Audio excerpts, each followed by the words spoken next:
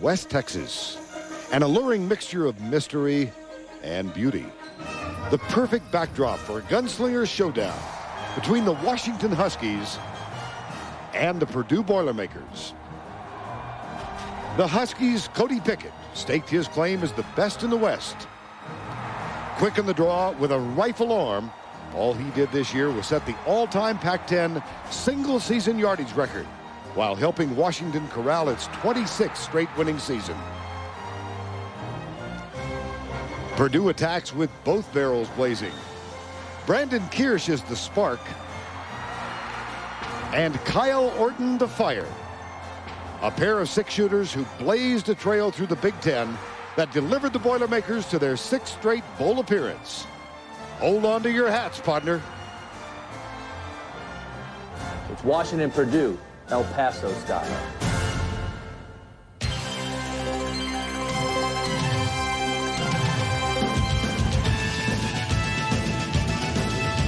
We welcome you on this New Year's Eve afternoon to the Wells Fargo Sun Bowl from El Paso.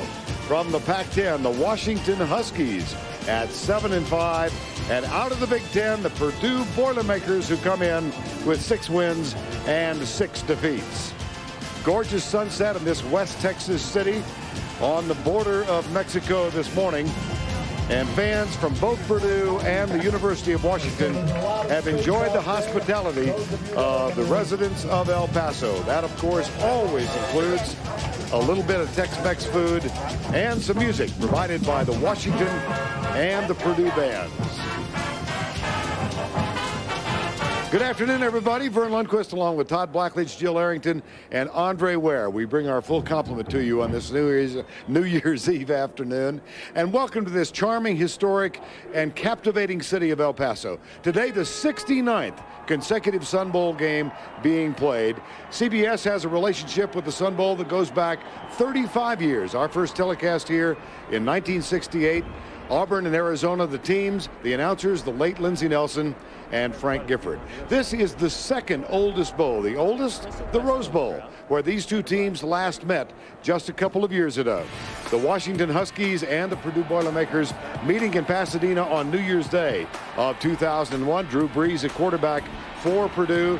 Marcus Tuiasosopo for the Huskies as they assumed a lead and held on to it despite a Purdue comeback, but it wound up a Washington win, and the Huskies prevailed to finish number three in the country. And Todd Blackledge, they're, they're kind of different teams in personality Right. now, though they have had similar seasons this year. Yeah, very similar. I mean, these are two teams that both experienced miserable months of October, but then rallied at the end of the season to play their way into a bowl game. I mean, Washington won their final three. Purdue won three of their last four, and they almost knocked off Ohio State, who's playing for a national championship. So the bottom line for us, two very exciting offensive football teams playing their best football of the year right now. And this is a Washington team that will keep it airborne throughout.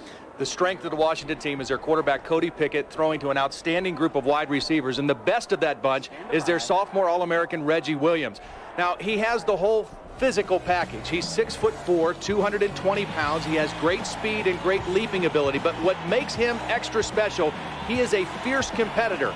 He wants the ball in clutch situations. In Washington's three-game winning streak, he caught 35 passes for 461 yards and four touchdowns. Purdue has to be aware of where he is on every single pass play today. We will see two quarterbacks in all likelihood for Purdue, Kyle Orton and Brandon Kirsch. They will, in both cases, hand the ball a mm-hmm. lot to Joey Harris. The biggest difference between the Purdue offense this year and last year, last year they were 105th in total offense, this year 7th. They can run the football, and Joey Harris has had an outstanding season. Kind of came from out of nowhere and gained over 1,000 yards. Only the fifth back in Purdue history to do that. Purdue, very balanced on offense. They make you defend both the pass and the run. Beautiful day on New Year's Eve afternoon in El Paso, Texas. And we'll continue from the Sun Bowl right after these messages.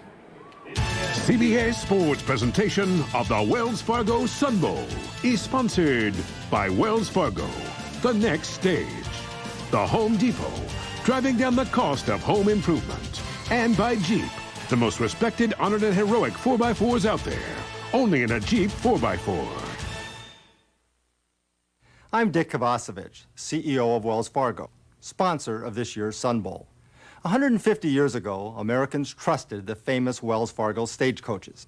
Today, we earn your trust as a banking and financial services company, but our goal remains the same, helping you to get to your next stage. Happy New Year.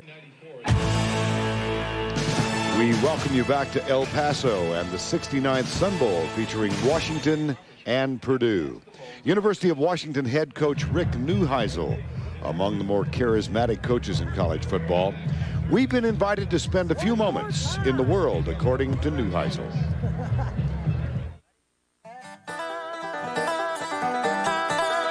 Husky football, past, present, and future. Great tradition, great uh, uh, pride, uh, great uh, eagerness to compete. Uh, you know, if there was one word had to be, describe Husky football over that time and hopefully the future is toughness. Pickett to Williams, that's pretty devastating combination. It's tough for defenses to figure out a way to stop those two. Nate Robinson, uh, swagger, just an athlete and then some. He's just wrapped in a very tiny package. Uh, 5'7", jump out of the gym. Uh, he's going to be the most famous Washington athlete. If he keeps his head on straight, most famous Washington athlete to ever play. Pac-10 conference and its competitiveness. I don't think there's a conference that can touch us in terms of from top to bottom. Uh, you're not going to have any undefeated teams uh, in our league unless somebody really, really gets on a roll, much like SC did at the end of the season. Most memorable moment from Pee Wee football to today, uh, Rose Bowl, you know, and, all the different things that have happened to me in, in, at the Rose Bowl. Having a chance to play first and foremost, uh, having a chance to, to, to win the most valuable player trophy in, in 1984 when I was a walk-on quarterback and to have that dream kind of materialize and play out was an unbelievable thing. I still pinch myself. Uh, and then also to take a team back there as a head coach and, and to hold the championship trophy was a, a real thrill. Like to go back. Bowls or playoffs? Bowls. It's the one thing indigenous to college football. It's one thing we have. And that's the world, according to Rick Neuheisel. Well, he really is uh, an energetic, interesting, likable guy. And he understands the power of the media, and he enjoys it. And I think that helped him relate to his players and also helps him on the recruiting trail as well. Rick Neuheisel leads his Husky team into the Sun Bowl against Purdue. Kickoff coming up.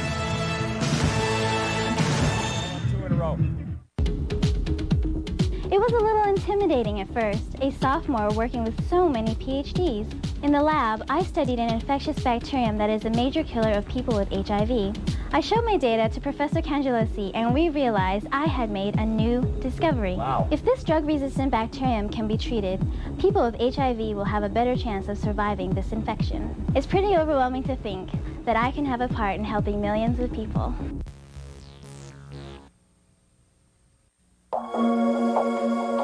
What if there were a place where people still believe they can change the world, where creativity guides technology, and where ideas are created and challenged every single day.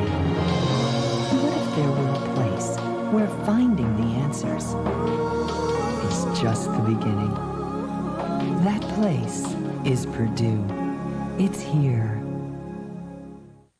There is a start there is a finish. And in the journey between, there are dreams. The NCAA Hall of Champions keeps these dreams alive for you. More than a museum, the NCAA Hall of Champions takes you on an interactive journey. Relive some of the most inspirational moments in collegiate sports history and walk in the steps of a student athlete. At the NCAA Hall of Champions, you'll find something for every fan. Discover what it means to be a champion. The journey begins inside. The judges of Queens Supreme Court are on the bench. Court adjourned. And a little off the wall.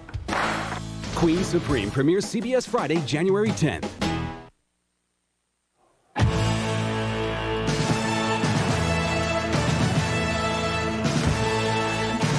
Sixty-ninth annual Sun Bowl brought to you by Wells Fargo this afternoon featuring from the Pac-10 the University of Washington And they are first to take the field.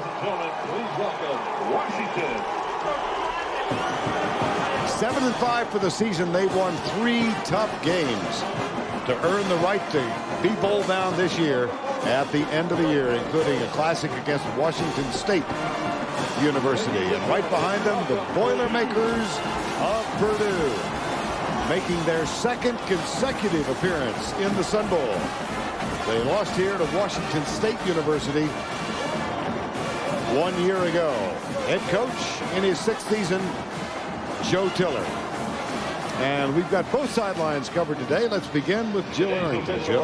Well, thanks, Vern. I talked to Coach Neuheisel, and he told me it's been a character-building season for the Washington Huskies. They'd have to overcome so much adversity. At one point, sitting at four and five, facing their first losing season in two decades.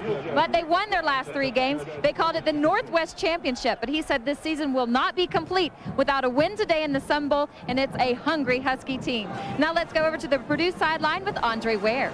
Guys, you uh, you look at it with Purdue, they have two quarterbacks that can make plays. Uh, Kyle Orton, more of a classic drop back passer, and Brandon Kirsch, a little more athletic, will make some plays with his legs. I spoke with Joe Tiller moments ago and asked him, when do you determine when you go to the other guy? He said, my best description is they're both like pitchers. One's your starter, and if it's not working, the, the other reliever comes in the game. Both guys will play a bunch, though, Vern.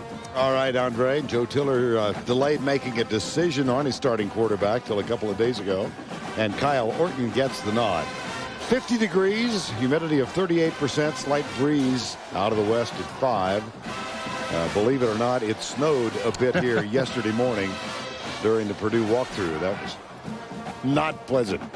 Washington leads the series between these two, 7 1 and 1.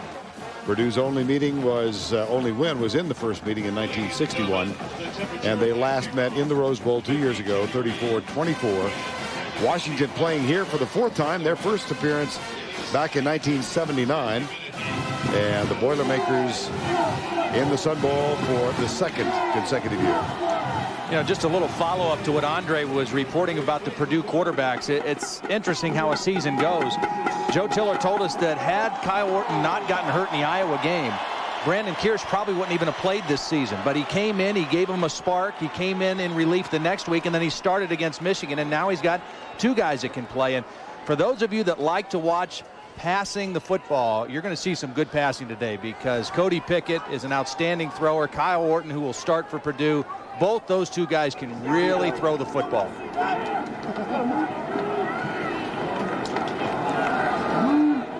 And we're about set to go. Purdue will kick off to open the game. Charles and number 21, Aaron Levin will do the kickoff chores. And the deep men for Washington, Charles Frederick, number 10, and Patrick Reddick, number 21. Yeah, two very dangerous return men. Those are two of the outstanding receiving corps for the Washington Huskies. Both of them very dangerous as return men as well.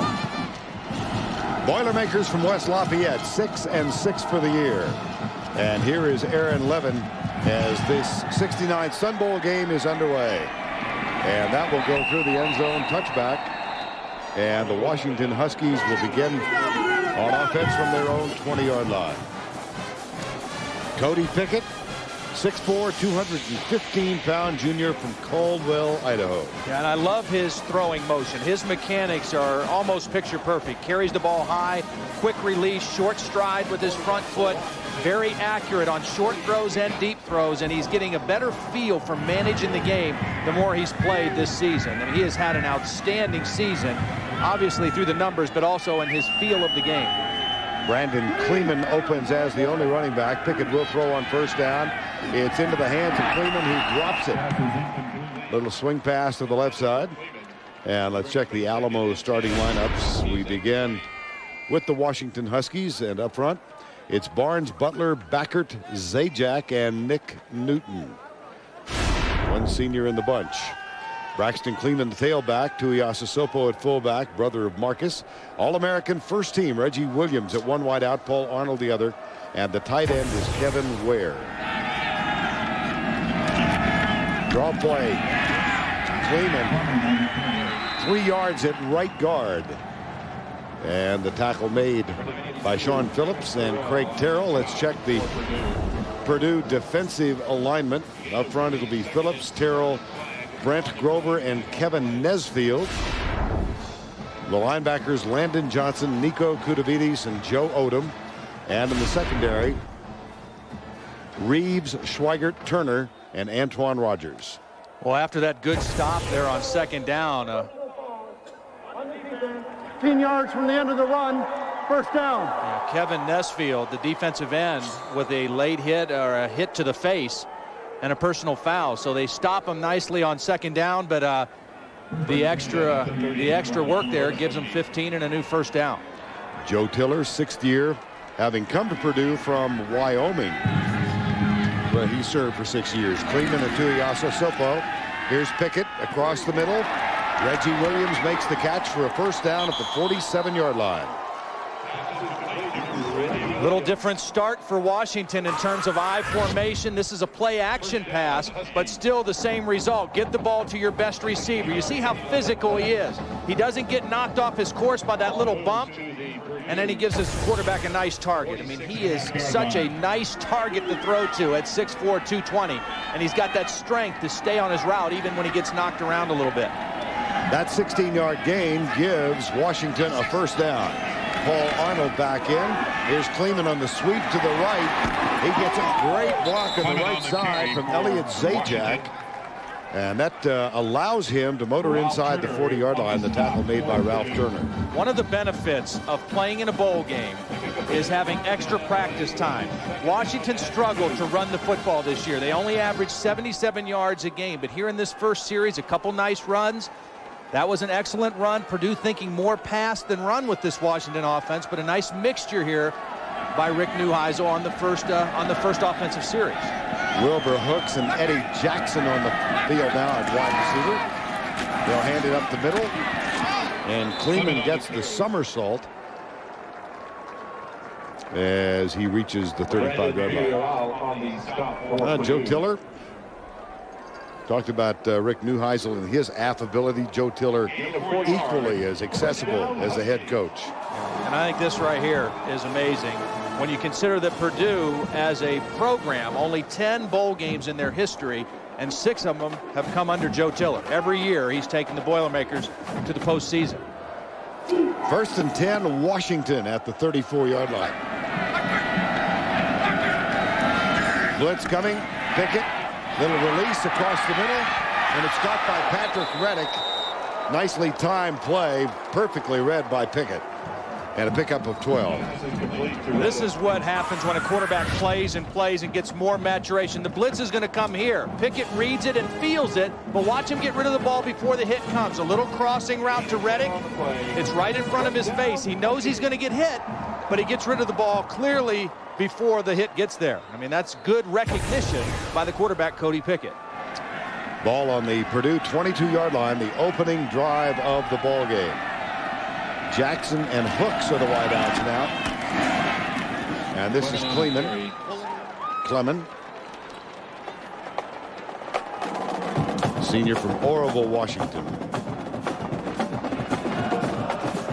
Again, this is a, a little bit of a changeup. Washington kind of moved more into a spread you out, four and five receivers, a lot of empty sets towards the end of the year. But because of this extra practice time, they've been able to go back and work their running game. And Cleman is giving them a nice little changeup here and keeping the Purdue defense off balance. Here's Pickett. Little mix up with his wide receiver, Reggie Williams.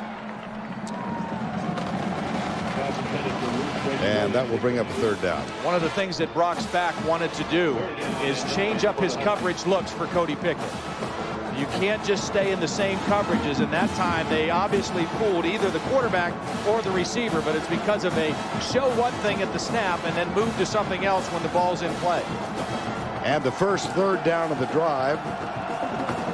Third and nine from the 21. And Purdue best in the Big Ten on third down defense. Only 29% they've allowed converted.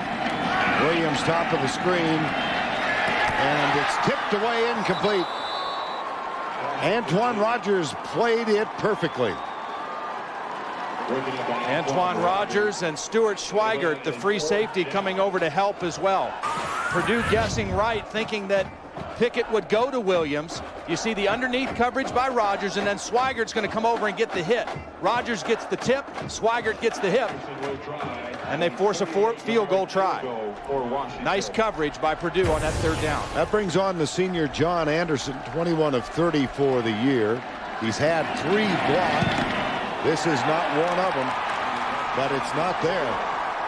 Well, I, I, that thing looked like it got blocked, yeah. but it didn't sound like it got blocked. I only heard one thud. Usually when you hear a block, you hear a, the thud off the foot and then a thud off the hand.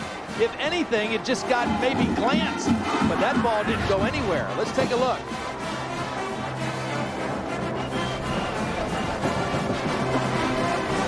They got a nice leap right in the middle. Aha! It did. That's four blocks for the year.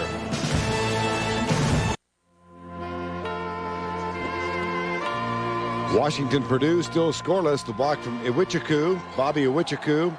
The fourth block of an Anderson kick this year.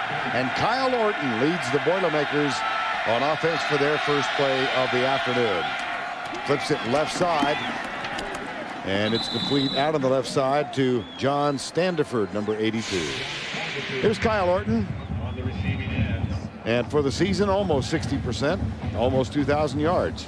The thing that I'm impressed with about Kyle Orton is when he got replaced in the uh, Michigan game and had to sit out a little bit, he didn't pout. You know, he stayed with it. He stayed preparing. He competed even harder than he had when he was the starter. And when he got his chance to play again, he played exceptionally well. He was brilliant against Indiana in their season finale. Joey Harris is the running back, and Harris gets his first handoff.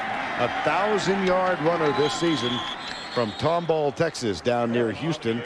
Marquis Cooper makes the stop, the middle linebacker, number 88. Here is the Boilermaker offense. Nick Hardwick, quite a story, gets the start at center today, first time.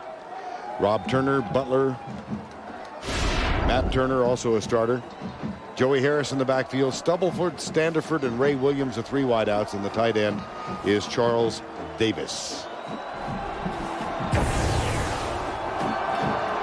Gene Mruczkowski, who has started 48 games in a row at center for Purdue, unable to go today. So Hardwick gets the start. Former walk-on. Here's Orton, and his receiver slipped as he tried to make his cut. It was Taylor Stubblefield, number 21. Defensively for the Huskies, they will line up this way. Kai Ellis, Josh Miller, Terry Johnson, and Manase Hopoi. The linebackers are Ben Mahdavi, Cooper, and Jafar Williams.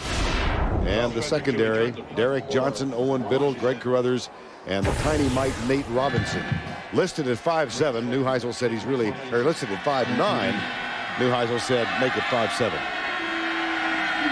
And now on fourth down, the punter, Brent Slayton. Charles Frederick, there's bad snap. And the Huskies are going to take over at the seven-yard line. Yeah, that's on Slayton. I mean, that, that snap was a good enough one for him to handle. He took his eyes off the ball.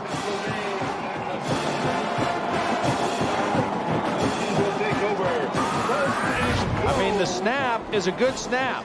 And oh, Slayton oh, yeah. just lost his concentration and the first big play of the game occurs on special teams for Washington.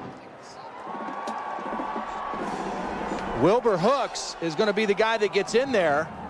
A guy who plays a little bit of offense, defense, and special teams. And you can just see Slayton just right through yep. the fingers. John Shelburne snapped it back and did so well. Here's Pickett. Little pressure. Got it. Caught. Touchdown. Beautiful touch. Patrick Reddick, number 21. Beautiful touch. And a nice job by Cody Pickett just hanging in the pocket because this was supposed to be thrown quick, but it wasn't open quick. But he just didn't panic. He hung right in there and waited for Reddick to clear in the back. Here's Reddick in the slot. Watch him just, he's not open early, but Pickett's able to wait until he clears to the back. And that's a wide receiver working on a linebacker, Joe Odom, and they found the right matchup. John Anderson for the extra point.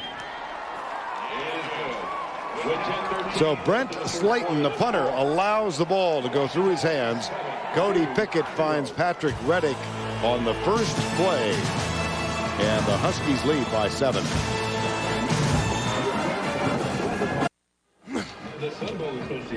Cody Pickett took all of five seconds to find Patrick Reddick for the first touchdown of the game. It came on a nicely lofted pass deep in the end zone. And the Huskies lead at 7 0 with 10-13 to go in the first quarter of play.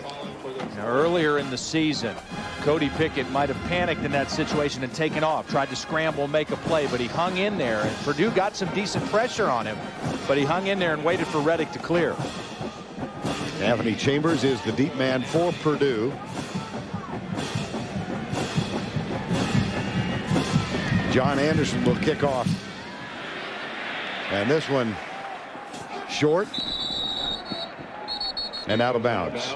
Let's go back and take a look at the touchdown. Well, here's the matchup that Washington got. I mean, Reddick is right here, okay? Now, the problem is for Purdue, the guy that's going to be covering him is a linebacker, Joe Odom. And that's a mismatch for the Purdue defense. Reddick, a speedy wide receiver, and he's able to slip behind Odom for the touchdown.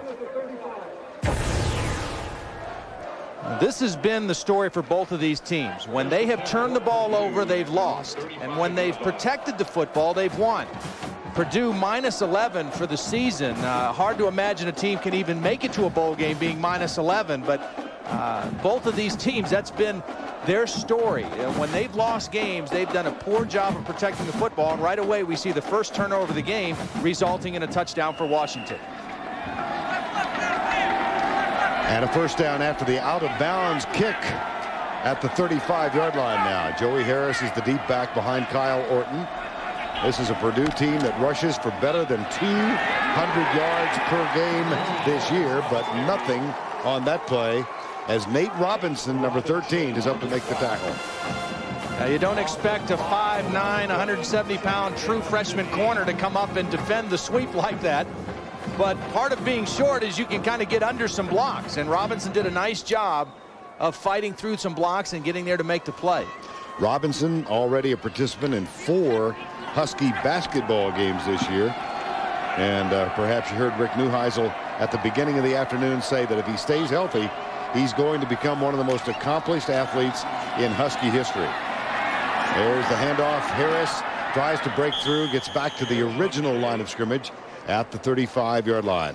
Well, we talked about Nate Robinson. He's played five games actually so far for the Huskies and has averaged just over 12 points per game, two rebounds. A year ago, he led Rainier Beach High School to a 28-1 record, including last year's state championship win. Now, he's listed, as we said, at 5'9", and Rick said 5'7". Yeah, well, he says he envisions himself as 6'9", and he's got a 41-inch vertical that helps him play a lot taller on both the basketball court and the football field. Fumble, and this time it's loose on the right side and picked up, and here go the Huskies. Cooper's got it, and Cooper has a touchdown.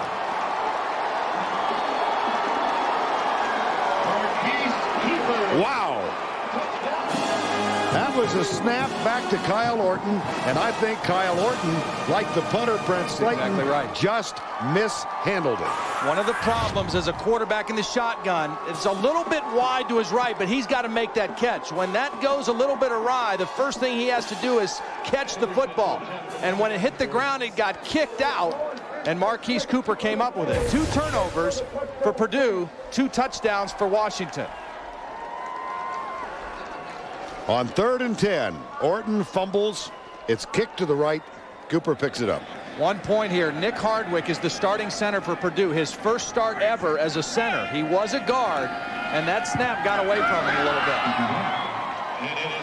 Anderson's kick is up and through. Now let's take a look at the Hardwick snap. Just a little to the right. And then kicked out to the right where Cooper picked it up and strolled in for the score. I get a look at Nick Hardwick, the junior from Indianapolis, getting his first start at center today. Yeah, it's a great story. I mean, this is a kid that was a wrestler in high school at Lawrence North High School. He played football as a freshman, but that was it. He came to Purdue, As a freshman, he went out and watched Purdue play Washington in the Rose Bowl and decided he wanted to try to walk on the football team. Walked on, was a defensive lineman. They switched him to offensive line, and this year he started six games at left guard, but his first start as a center. Here's Anderson's kick, high, deep left side, and it is kept in bounds as Jared Voigt, number 32, had to do a little tap dance on the sideline. Let's check in with Andre Ware. Guy Purdue, guys, Purdue lost six games this season by a combined total of 26 points. In those six losses, they turned the ball over 25 times, an average of over just four turnovers a game. If they're going to get back in this football game, they got to do a better job of taking care of the football. Vern. All right, Andre. Yeah, absolutely. I mean, uh, we've talked about it all season. Turnover margin is one of the most revealing statistics in all of football at any level. And this team in particular, a lot of close games, but in those losses, way too many turnovers. Double tight end set and first down. Harris is the back in the eye. Again, goes to Joey Harris. There is nothing there. Nice pursuit by Jerome Stevens, number 59, defensively for the Huskies. When we talked to Purdue's offensive coordinator, John Chaney, he told us uh, uh, that the biggest thing that they had to do was they had to beat him at the line of scrimmage, or Jim Chaney, rather, that if they could handle Washington up front, they'd be able to do what they wanted to do offensively. So far in this ball game, Washington up front getting good penetration. Harris on four carries for minus six yards, so they're getting penetration in the running game right now. Here's the draw out of a spread formation to Harris. And uh, nothing doing on that play. That's another no gainer. Cooper, the middle linebacker, and Nate Robinson, number 13. Well, Purdue, dramatic improvement on offense this year, particularly on the ground where they're rushing for the season for 203 yards, but uh, they improved in almost all categories. Well, they did. Every category, and amazing. In 2001, they were 107th in the country in total offense, and this year they're seventh. So, I mean, that's a pretty incredible turnaround, and most of it relates to their ability to run, but they have not been able to run so far in this game. See if the Huskies blitz. They do. They send five, and Orton's in trouble. Dances his way out and is caught and dropped well short of the first down at the 25-yard line by Marquis Cooper, number 88. So a very active first quarter for the middle linebacker. Right now, what's happening is Washington is, is playing much faster than Purdue. Their defensive front and linebackers a little bit faster than Purdue is ready for right now, and they're getting penetration in the run game and pressure on the quarterback in the passing game. Now here's the junior, one of 19 members on this team from Texas, from Rust, Texas. That one is away, but it's end over end off the side of his foot, and it limps out of bounds inside the 40-yard line. And uh, Washington will take over after that 37-yard punt at its own 39 with a 14-0 lead. Two turnovers have resulted in two Husky touchdowns. It's been all Washington thus far. It's been a wild season for Cleveland and Pittsburgh. Now these fierce rivals face off in the AFC wildcard game. Browns and Steelers in a wild one Sunday on CBS. Welcome back to the Sun Bowl in El Paso with Washington on top of Purdue. Now, Washington's got a lot of weapons at receiver. That first touchdown by Patrick Reddick, he is the first and only six-year player at Washington University in school history. Now, Todd, he's had six position coaches. He told me the reason he came back after having the pain of two redshirt seasons of knee injuries and the up of winning a Rose Bowl championship was because this is the first time he will play healthy. He feels more confident than ever, and you could tell with that touchdown catch. Yeah, and he's had an outstanding season. You love to see that get paid off when a guy comes back. 48 catches coming into the ball game today and a touchdown in the Sun Bowl. Here's Cody Pickett. And Pickett goes deep behind his tight end. That will be incomplete and bring up a second down and 10. Here's a flashback for you. These two teams played in the Rose Bowl two years ago and a day, two years and a day ago. It was 14-0 Washington in that game, and the first touchdown was the result of a botched punt. So a little uh, sense of Yogi Berra here. Yeah. Little deja vu all over again. Yeah, I, I just set you up. Second down. Cody Pickett. And that one's out to the right side. Caught by Patrick Reddick. Jill just talked about him. Pass is complete to number 21. For complete bowl coverage, including photos and matchup analysis of all bowl games, go to CBSSportsline.com or on America Online. Enter keyword CBS Sportsline.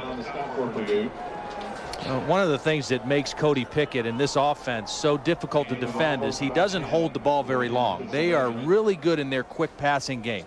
That was a situation Purdue blitzed. He saw it. He gets rid of the ball quick. And they, they have a lot of built-in things in their offense that are just quick passes where the quarterback doesn't have to hold on to it a long time. Uh, Cody Pickett in his junior season came to Washington from Caldwell, Idaho. He has just had gaudy numbers this year, all-time single season yardage mark. He's the son of a professional calf roper, Dee Pickett, who played uh, a little college football at quarterback at Boise State a few years ago. First down and 10. Late switch to an eight-man front. Pickett sees it, and he's audibling at the line of scrimmage. Here comes the blitz. Pickett high, intended for Williams out of the right side. Well, Cody Pickett grew up in a rodeo environment. Here's Cody Pickett at 18. And here, that's that poor cat. Yeah. Thinking, I didn't buy into this. Here's Cody at seven years of age. Got the style, doesn't he? His dad, Dee, as we said, Cody Pickett, the National High School Rodeo competition a few years back. Uh, very, very adept at that talent. And just by virtue of the fact that we've seen him on video now, Yeah. he becomes, in my mind, the second greatest rodeo competitor who played football. And the first is Walt Garrison. Walt Garrison. Absolutely. Who was the Cowboys cowboy back in uh, the 60s and 70s for the Dallas Cowboys. Pickett for the year, 61%, 4,186 yards, 26 touchdowns. Big play right now for the Purdue defense. Again, they've been excellent on third down. They need a stop here. Slow this tide down a little bit, get their ball back to their offense. Here comes the blitz again. Pickett right side. That one almost picked off. Well, and a flag is thrown. Antoine Rogers, number 12, made contact. Well, I don't know about this, though. Yeah, me either. Because he made a great break on the football. The ball was actually a little bit late getting to Reggie Williams. And I thought it was a good play by Antoine Rogers. Here's one-on-one, -on -one, Williams on Rogers. And watches the ball's in the air. Oh, that's, that, that's a good play. That's a good play by Antoine Rogers. It's interference on the defense. Automatic first down at the spot of the foul. And the spot of the foul is inside the 30-yard line. Here's Rogers, the book, 6'2", 170. And the Huskies catch a break. And a first down at the 27-yard line with a 14-0 lead. He may have made contact on the back going to the football, but I thought it was a bang-bang play. I thought he got there right as the football got there. And uh, this Purdue defense and the secondary had some problems with Charlie Rogers of Michigan State, who is a big receiver. He had eight catches for 164 yards against Purdue. Even though Purdue won the game, he presented some major problems, and Reggie Williams is going to present the same kind of problems. The left hand is around him, but I think the left hand made contact at the same time the right hand made contact with the football. Uh, there was a realization that they had marked off too much yardage on that play. And so uh, they were 10 yards farther downfield than they should have been. So the ball now has been respotted at the 37-yard line rather than the 27. That's Brock Spack, the defensive coordinator for Purdue, and he knows he's got his hands full right now with Cody Pickett. Pickett settles short, tight end drops it. That's Joe Toledo, number 83, and uh, that's a should have had. Well, wild card action on CBS on Sunday. Cleveland at Pittsburgh, AFC wild card game, Sunday, 1 o'clock Eastern Time, as that confused AFC picture finally became unmuddled on Sunday afternoon.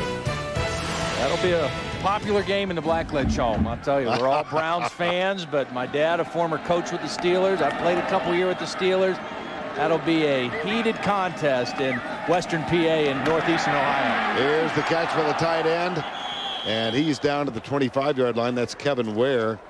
41 catches for the year. Jacques Reeves, number 28, makes the tackle. Now, tight end is a position at Washington with a lot of history. And coming into this year, Kevin Ware only eight receptions, but 41 on the season. And he's really, uh, he took his training and his preparation this offseason very seriously. He went home to Texas. He had a personal trainer. He went through a very intense regimen, and he came back and had an outstanding senior season. We should point out that he has no relation to the Heisman Trophy right. winner who is prowling the sidelines for us over there. Here's a first down. Pickett. Nice pop defensively on Reggie Williams. That's Shaun Phillips, number 15. This is Reggie Williams in the middle, number one. And Shaun Phillips is a defensive end who dropped into like a zone blitz coverage that time and was there to make the play. Nice work by Shaun Phillips out in space at 6'3", 267 pounds. Large contingent of folks made the trip down from West Lafayette to uh, support the Boilermakers. Right side. Again, good timing, but the pass is complete. Caught out there by Eddie Jackson, number six. Again, you see how quickly Cody Pickett gets rid of the football. Now, one thing that's getting set up for Cody Pickett is a hitch and go or an out and up because Purdue is closing fast right now on these three-step drops. They're coming in, they're trying to knock the ball loose, they're trying to get there right at the point of the throw. So what is set up, maybe not here, but in the next series will be a pump and go and throwing the ball down the field. Third and six officially with a 14-0 lead and four minutes remaining in the opening quarter. That one's low and incomplete. It will bring up fourth down. Intended for Paul Arnold. Just a bad throw that time by Pickett. I mean, uh, he had a guy open. It would have been a first down. And Purdue uh, Purdue escapes with a field goal attempt now by Anderson. The reason it was important to keep out of the end zone is they've got to still be able to run the football. They need to keep their balance on offense. 21 points down makes it a little tougher to stay with that. Had one blocked from this distance a moment ago. Here's Anderson's kick. This one up and through from 38 yards away. So the senior from Boynton Beach, Florida, one of two in the ball game. And that extends the Washington Husky lead to 17. Greg. Washington has reason to dance 17 nothing as the band plays on. They have dominated Purdue here in the opening quarter of the 69 Sun Bowl. Huskies fourth appearance in El Paso. Purdue back for the second consecutive time. And Chambers getting ready to return a kickoff of John Anderson again.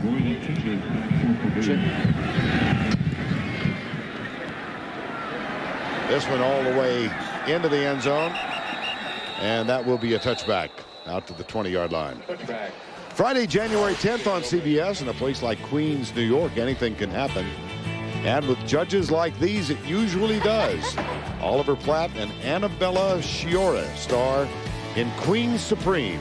It premieres Friday, January 10th at 10, 9 Central on CBS, America's most watched network. Right there's the, the problem for Purdue right now. Turnovers and their inability to run the football. Coming into the game averaging over 200 yards a game rushing. And they just have been beaten by penetration at the line of scrimmage so far by Washington. Brandon Jones is in a tailback now for the first time. Here's play fake. And Orton looking deep. He's got a man wide open. All the way down at the 35, and the ball is dropped. And it was John Standeford right through his hands. Yeah. It's almost like he got frozen because the ball was a little bit underthrown. And so Standeford, even though he had Robinson beat, he had to stop and wait for the ball and then just couldn't make the catch. I mean, he had Robinson beaten by several yards and had to wait for the football, and, and the normally reliable Standeford not able to make that catch. John Standeford, one of the first team all Big Ten selections on this Purdue roster. And here's everybody going 15 different directions about the time the ball was snapped. Well, Purdue tried to go on a quick count, and I don't think they were set at the line of scrimmage. They tried to fool Washington by getting up to the line and snapping it right away, but you have to have everybody on that line set. Prior to the snap, false start on the offense, five yards, still second down. Washington has just really taken Purdue out of their rhythm offensively. Mm -hmm. I mean, mm-hmm. this is a it's a rhythm passing game. It's a good balance and mixture of run pass, and they haven't had that. And that one play that could have got them a big chunky yardage, they couldn't convert with Standeford. And again, Orton will go from the spread, second down and 15. Quarterback draw picks up three, three and a half. Near the 18-yard line. Orton picks up about three yards on that. Let's go back and revisit the end of that John Standeford attempted catch Third just a moment ago. As a receiver, you know, you want to try to catch this thing on the run and continue to run under it and take it to the house. But Orton just not able to get quite enough on it. And you see Standeford stopped and then tried to go up for the football and not able to make the catch. And now a third down and long situation for Kyle Orton. Third and 12, down 17 nothing. latter moments. And the play change made by Kyle Orton. Three-man rush for Washington. And he's going to get popped as he lets it go, and it's incomplete.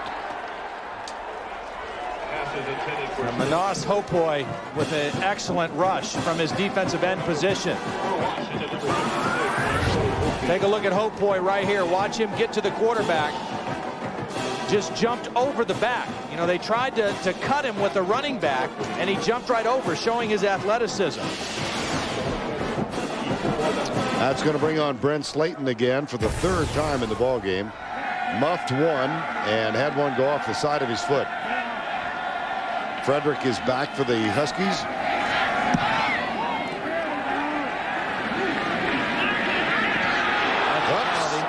Yep. So that's going to give Washington excellent field position. Deontay Farrell was the man number six who was down there and made the contact. A couple bad plays by the Purdue special teams in this ball game here in the first half. The muff punt, as you referred to, and that uh, the the halo violation. I mean, just no respect for it at all by Deontay Farrell.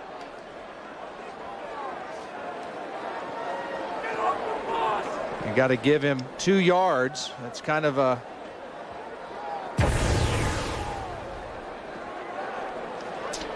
tough play. A guy coming down there trying to make a big play on special teams, but uh, you got to let him have room to catch the football.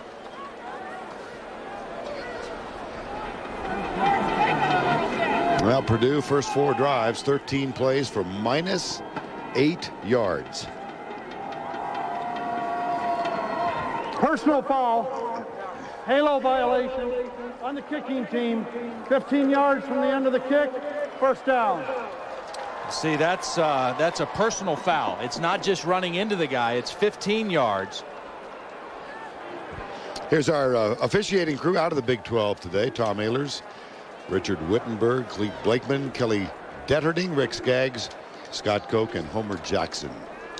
Fourth penalty for Purdue now. 45 yards to go with the two turnovers. Mistakes really, uh, really hurting the Purdue cause right now. And uh, they are digging themselves a very deep hole. Here's Pickett. Caught it. does get back to the line of scrimmage. Might even have gotten a yard, but a uh, little pressure applied by Shaun Phillips, number 15. Now, Shaun Phillips had an outside rush and came around the quarterback and forced him up in the pocket and then chased him down from behind.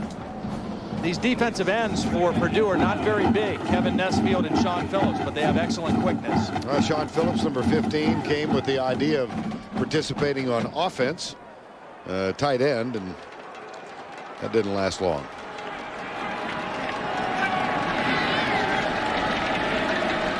Second down and 10. Here's Pickett coming left side. Nice catch. Eddie Jackson leans way behind number 13 and makes the catch. Shaun Phillips said he was recruited as he thought as a uh, tight end, but he got he got to the locker room at West Lafayette, opened it up, and there was a jersey set number 53. Said, guess what? You're a defensive player. but he finally got a better number. You know, Yeah, at least his number looks like he could be an offensive player. And course- 53 is Now, that's that's not a good sign that you're ever going to catch the ball. Shaun Phillips does play tight end on goal line for Purdue. Here's Pickett on third down. Wings it right side. That one is caught by Charles Frederick, number 10. On the reception for the Huskies. nice timing by Pickett. Throw this out route on time. You know, a lot of times you gauge a quarterback's arm by their ability to throw that out route. Three members on this team from uh, Pope John Paul II High School in Boynton Beach, Florida. You've got Anderson, the senior kicker, Rich Alexis, who will see some action at tailback, and Charles Frederick. That's a long way to go. to Southern Florida to Seattle. Hand off right side. Cleman on the carry. Brandon Cleman gets the carry, and nothing there that time. Nice penetration by Craig Terrill. And there on the inside. Big junior out of Lebanon, Indiana. Number 92, there he is. One of the leaders on this defensive front. Loss of one, second and 11 as we near the end of the uh, first quarter of play. A play dominated by Washington. Not so much offensively. It's been the, the special teams mistakes of Purdue and uh, a very dominating Husky defense. Here's Pickett. Tipped. Knocked down. Nice little change up in coverage that time. Vedran Zolovic. Yeah, he's a defensive end. I'm glad you said his name. I'll just call him Vedran. And Vedran's in here and watch him drop out in a zone blitz type thing. So he lines up like he's rushing, and then he's going to drop out and get a hand on the football. Nice play. And a nice change up by Brock Spack and another third down now for Cody Pickett. Final play, first quarter. And the Huskies leading by 17. Three-man front, and here comes a blitz for Purdue. Pickett reads it, goes deep. It'll be incomplete. Nice stop by Purdue. You know, everybody talks about Ohio State's defense and how good they were this year, and, that's been the strength of their team. But this Purdue team, defensively, tied for Ohio State as the best defense in the Big Ten in terms of total yards allowed. And they were the best in the Big Ten on third down defense, and they got a big stop right there. And you might remember that uh, that Ohio State victory over Purdue was only 10-6. That's the end of the first quarter. We'll return after this message and this word from your local station. Hi, I'm Joey Harris, a running back from Purdue University. It's great to be back in my home state of Texas at the Sun Bowl, and I'd like to wish everyone a Happy New Year. Joey Harris uh, back home. His uh, granddad, Joe, who helped raise him, his mom, sister, they're all here celebrating the New Year's in El Paso, Texas. 35 years CBS has been associated with this, which means that we have televised one more than half of all the games that have ever been played. I was a math major. Huh? like that? And John Anderson's going to try the field goal from 55 yards. No good. He had one of 56 a couple of years ago against UCLA. And with the wind behind him, Rick Neuheisel thought, well, let's Yeah. give it a shot. I think also the cushion of a 17 nothing lead. He got a good leg into it. The good news for Purdue, the good news for Purdue is they get their best field position now to start this drive. In that first quarter, Washington averaged starting on the Purdue 42-yard line, Purdue on their own 23. So the best field position now for Kyle Orton in the Purdue offense. He'll go from the spread on first down and 10 from the 38-yard line. Stunts, they flip it out right side. And here's Standeford out of the backfield And a nice positive play for Purdue, something that Joe Tiller and this offense need desperately as they find themselves down 17-0 at the start of the uh, second quarter here in El Paso. Todd, I think I'm as impressed by the, the Washington defensive effort as anything we've seen so far. Yeah, they've done a great job defending the run, getting penetration, and the important thing for Purdue, good play right there. Get Standeford in the ball game. Get Stubblefield involved in the ball game. Those are your big play guys all season. Get them into the football game right now. Positive play on first down. They get across the 50 for the first time. Stubblefield. Here's the pass out left side for Stubblefield, number 21. And he's tackled at the 45-yard line. Stubblefield, who missed the first three games of this year with a fractured skull. We remember him vividly last year because he caught passes for 196 yards in that game against Washington State. Yeah, he had 196 yards of receiving. Standeford had 12 receptions along with their tight end Tim Stratton who graduated. And it was a a pass and catch clinic last year by Purdue in a losing effort. Now Kyle Orton threw the ball 74 times in that loss last year. Second down. Here's the handoff to Harris. Uh, it's uh, Brandon Jones, number 27. And those were all Sun Bowl records last year. Kyle Orton, 38 of 74. That's an NCAA Bowl record.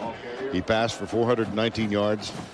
You see Standeford and Stratton both with 12 and Taylor Stubble, Stubblefield with 196 yards. Big play right here for Purdue now. A third down opportunity during the season. 41% conversion on third down, but 0 for 4 so far in the ball game today. Ray Williams top of the screen wide right. Third and four from the 44. Orton has time and he finds a receiver out of the backfield for the first down. And it's Taylor Stubblefield once again. And Purdue with its best offensive series of the afternoon, a 13-yard game. Nice protection up front by this senior-laden offensive line. And Stubblefield, the slot receiver, ran a little out route. Standeford cleared the area from the outside. And Stubblefield, with the, the possession receiver, makes the big catch for the first down. For the season, Stubblefield with 70 catches, but the yards per catch only 10, significant less than Standeford. First down and 10, out of the gun again. Fake the draw. Orton has some room if he chooses to run. He'll wing it, and he's got a man open. The catch is made by Jones. That was the guy he faked it to. Right. And this was a great adjustment by two guys, by Brandon Jones and Kyle Orton. And I think there's a personal foul at the end of the play. But watch Brandon Jones. Now, he's going to fake in here, and he's going to look for the ball right here. But it's not open.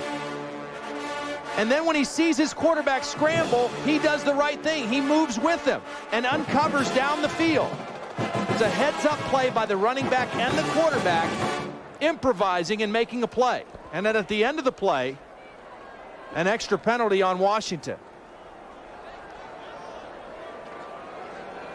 Yeah. I'm sorry, it's a personal foul against Purdue at wow. the end of the play. So instead of being inside the 10, they're going to be backed up.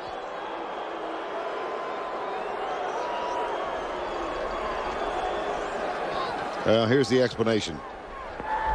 Dead ball, personal foul on the offense. 15 yards from the end of the play. First down. And take a look at that. Instead of first and goal from the one. Yeah. And again, the fifth penalty for Purdue. Instead of, like you said, first and goal from the one, now they're back on the 15, 16 yard line. Huge difference. Now we'll uh, attempt to get word from the sideline as to the perpetrator. One of the differences was these empty backfield sets. With Orton, you're not as concerned about the quarterback draw as you would be if Brandon Kirsch was in the ball game. Well, here's Orton, gets a snap, wings it, incomplete. Well, we've determined, we think, who the uh, the infraction was called against. Extracurricular activity, Antoine Rogers, number 12. Uh, there, it was just at the very end. I think that's Ray Williams. the freshman wide receiver just with the extra push at the very end of the play. Ray Williams, number two, not 12. The block was okay. It was just the extra push after the block that got Ray into trouble. He's a true freshman out of Scotch Plains, New Jersey, and he hurt his football team right there. Dancing up the middle goes Brandon, Brandon Jones, Jones. number 27 on second down. And that's going to leave Purdue looking at third and goal from the 13-yard line. Your attention, please. Masoud Sadman, Hortensia Chavez, Sonia Benitez, Fernando Rodriguez, and Jackie Barnes. Please report. These numbers, uh, I don't mean to go to whining school here, but they're white on gold, and it's a very, it looks clear enough on It's tough. television. Yeah. But if you're looking at it uh, without the benefit of a television monitor, they blend in together. They are really awful uniforms to try and determine who's carrying the ball. That's John Standeford, the go-to guy here. Here's Orton. Got him. And it's going to be fourth down. It's Hopoi again. He's gotten pressure a couple times today, and that time pretty good coverage down the field. And Orton not able to, to find his receiver. You see Hopoi never giving up on the play. He gets back inside and gets the sack. Nice job using his hands and fighting off that offensive tackle's block. That's going to bring on Berin Lacevic, who uh, is kicking in the place of Travis Dorsch, the All-American at Purdue, who graduated a year ago. Lacevic has not had a successful season. He's got a great personal story, adopted by a couple in Salina, Kansas, having grown up in Sarajevo, but unfortunately that's been the pattern of the year. He is now 8 of 17 attempting field goals. Berin Lacevic, his parents, adoptive parents, saw a story involving him on Peter Jennings News on ABC. They contacted the news, contacted him, wound up adopting him. Well, Berin Lacevic taking a little frustration out after that missed 32-yard field goal. He's been pounding the ball into the kicking net. Just to complete the story, he was uh, discovered in the midst of a newscast by the couple from Salina, Kansas. They made uh, attempts to contact him, wound up adopting Berin, bringing him to this country. He's an American citizen. And he got uh, kicking lessons from Jan Stenerud. They came out, contacted Stenerud in Kansas City, and uh, it's a nice story for the holidays. Unfortunately, that kick put a little stain on the effort. Yeah, he's really frustrated. As are his teammates, I'm sure.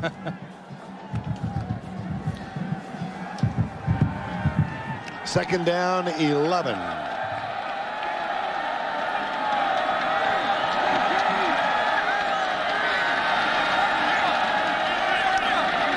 Purdue trying to shift late to give a new look to Cody Pickett. He's able to see it. Here's Pickett with a pump fake and goes deep for Williams. Now that could be offensive. Yeah, no, I, No? they're going to call it uncatchable now. They Uncatchable? were going to call interference, and then they changed and called it uncatchable. The ball was thrown out of bounds. But they went to the hitch and go.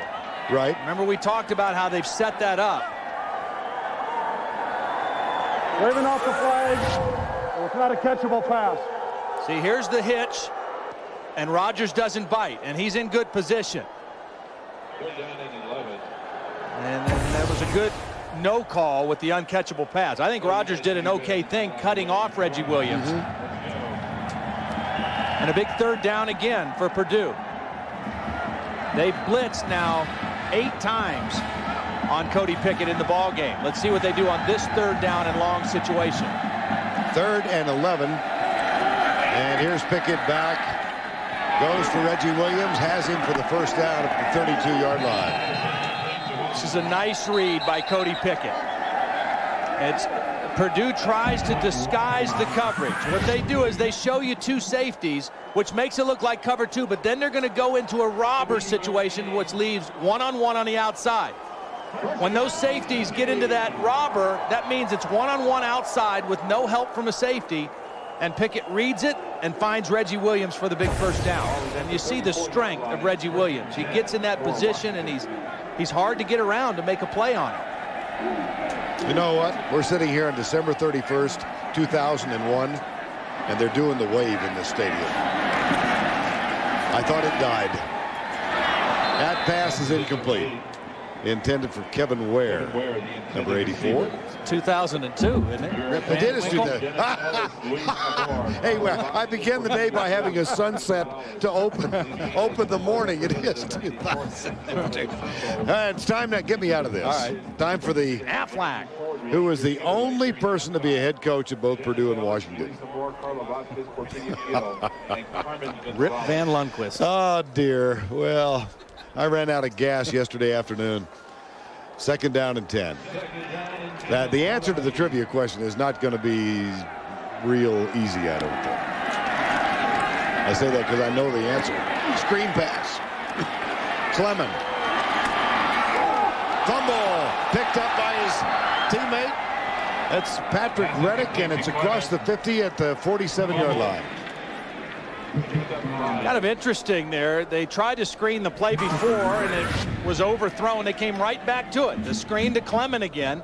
And this time they pick up good yardage, and then the fumble is picked up by Patrick Reddick. Patrick Reddick has uh, been in the right place at the right time a couple times today for the Huskies. Had a touchdown catch after a punt fumble or fumbled snap on a punt that led to a short touchdown from Cody Pickett. Now here's Pickett and the Huskies up by 17 with 9.13 to go in the first half of play. Right side.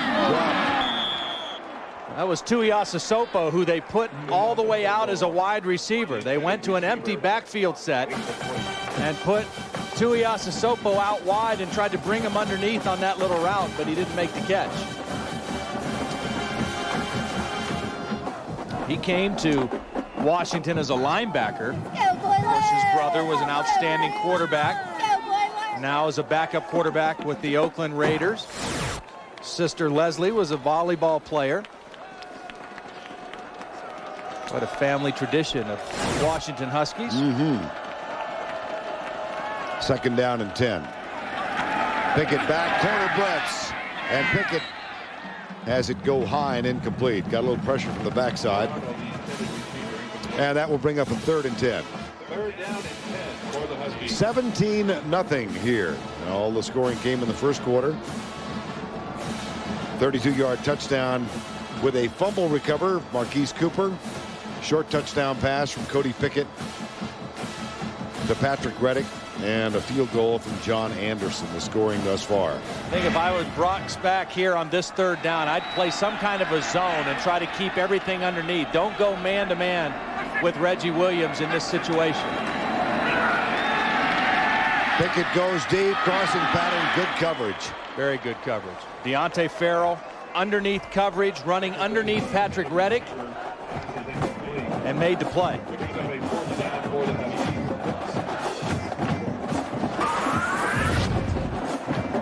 Tried to get it down the middle against cover two. That's the weak area when you have two deep safeties.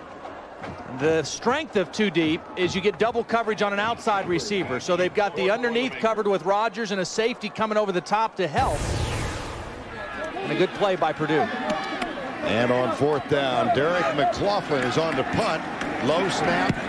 This is his first punt of the day. Fair catch is called for and taken at the nine-yard line. Derek McLaughlin, the sophomore from Mesa, Arizona, who will leave on a Mormon mission as soon as this ball game is completed.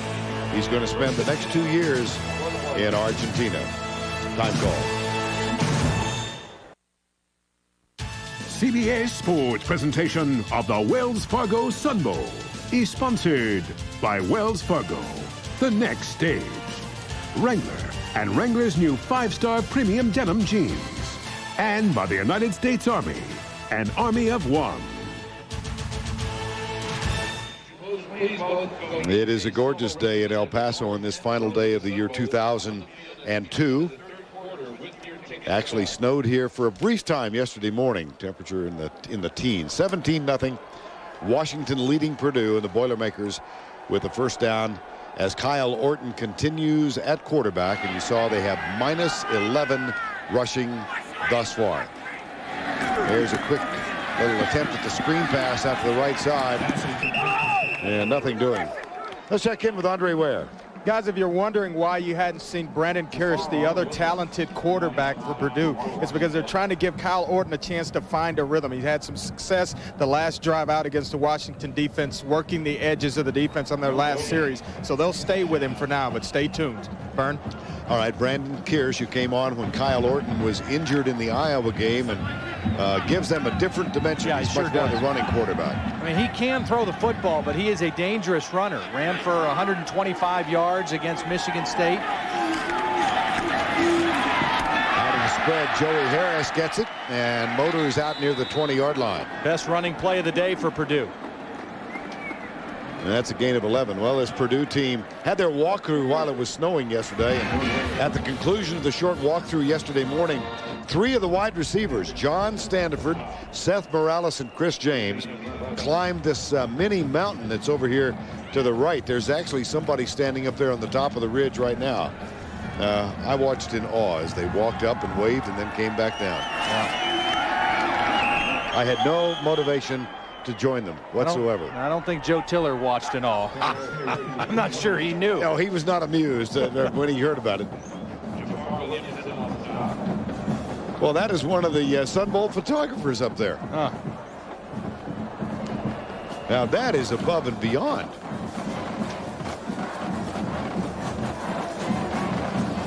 There's Bryant. My goodness. He is photographed, by the way, the last 35 Sun Bowl games. Chatted with him yesterday afternoon. Brian Kenoff. 35 in a row for him. Here's Orton. Catch is made near side out to the 30-yard line. Taylor Stubblefield. Well, that little mini mountain, one of the features here. Here are the three guys. There's Chris James, number five. Standeford and Morales. and Joe Tiller was not watching. No. Uh, look at this. we are mountain men. well, you, it's wall-to-wall fun here in El. Paso during Never Sun Bowl week. Never stops. So you want to take advantage of every opportunity for a different kind of experience.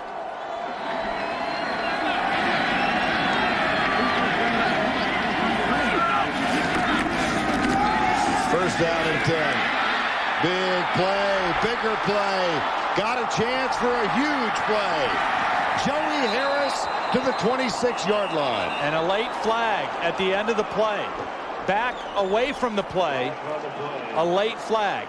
And I think this one's going to go on Washington.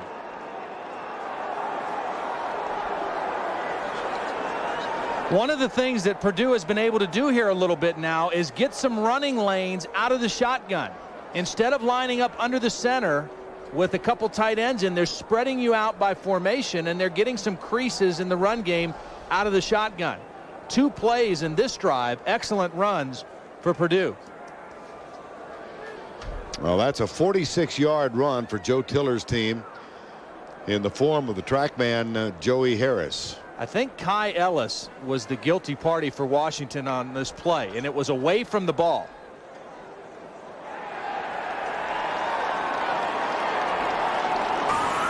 Watch the blocking up front on this side now as they go the shotgun.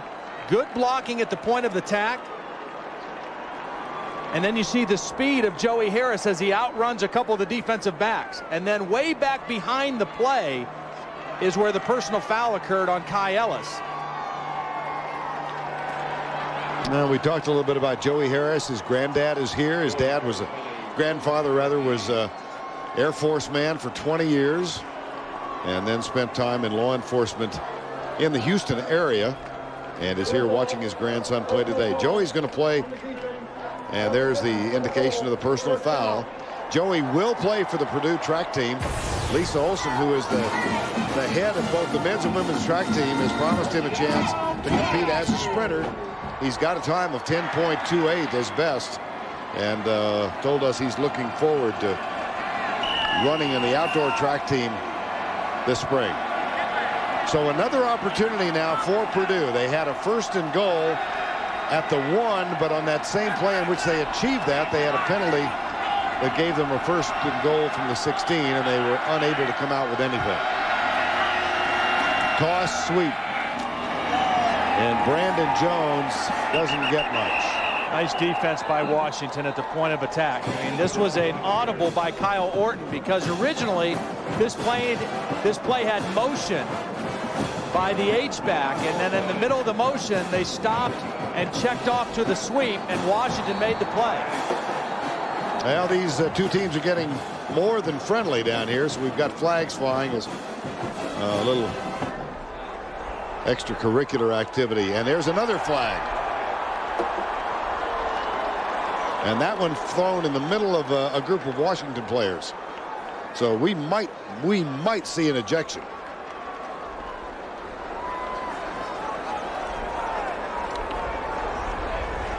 Well, the penalty before, I thought it was on Kai Ellis, but I think it was really on Greg Carothers, the strong safety. Now, this one could be both ways. Now, another personal foul. Two 15-yard penalties against the Washington Huskies on this drive. Well, there was a flag, and then there was another flag. Here's the explanation. Dead ball, personal foul on the defense, half the distance to the goal, first down. The first one was on Greg Carothers, the strong safety. He is now out of the ball game. Not ejected, but taken out. Watch at the end of this play. Right here is Greg Carothers is just going to push right in front of the referee at the end of the play. There's the flag, and that was the first personal foul. Now a subsequent personal foul has given Purdue the football first down on the seven-yard line. I'm just going to guess Nate Robinson. I'm just guessing that by his body language mm. in reacting. So I don't want to paint him with an unfair brush, but uh, now timeout has been called. And Tom Ahlers is going to come over and explain this to Rick Neuheisel.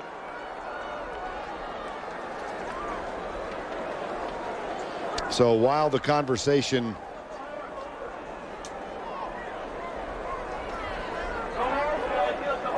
Well, the bottom line for Purdue is they've got a golden opportunity now. They blew their last opportunity when they had the ball in the one. And now Washington has given them great opportunity here to get the ball in the end zone. Well, Anders has asked Neuheisel to call his team over and talk to them. And now he's gone over and explained what he did to Joe Tiller and the Purdue team. So uh, Rick Neuheisel is calling the team around. the whole team. yes. Settle down.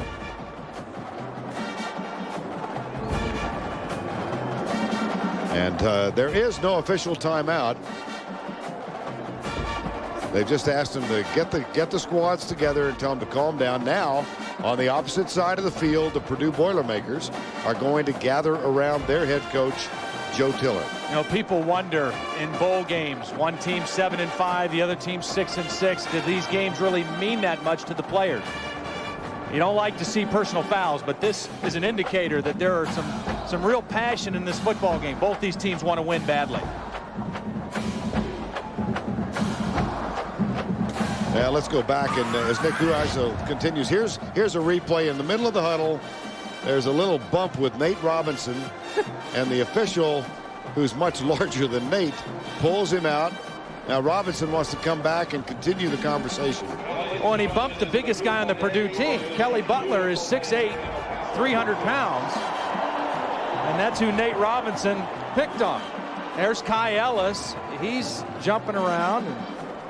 Once again, now, Kai Ellis starts to celebrate. This precedes the Nate Robinson. There's Kelly Butler with a little extra force on the head of Kai Ellis, and then Nate Robinson is going to sneak in there just pretty a good job by the officials to cool everybody down. Yeah, I thought it was too. And here's the attempted Brandon handoff on first down and goal. Brandon Jones, number 27, backing up Joey Harris. You know why that's a good move by that Big 12 officiating crew is they know, hey, this is a bowl game. This is a reward. Right. We don't want to eject anybody. We don't want to kick anybody out of the game. Let's let cooler heads prevail, take a little time off here, and let's play football. And that was an excellent move by this crew. Yes, it was. Second down. And the ball at the seven. Purdue trying to get on the board. John Standeford right here in the slot. He's the guy that Kyle Orton probably will look for here if he gets the right matchup. Three men lined up to the right side. Now tight end comes in and stays tight. Orton looks in the end zone. Got him. Exactly as you called it. Standeford from Orton for seven yards, and Purdue is on the board.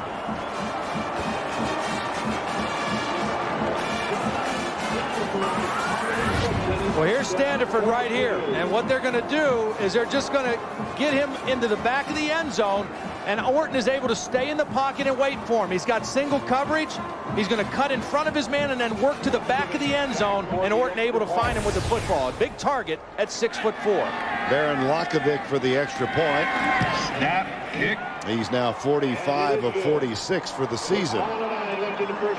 Well, the uh, the drive highlighted by a couple of penalties, but the big play in the drive, a 46-yard Joey Harris run.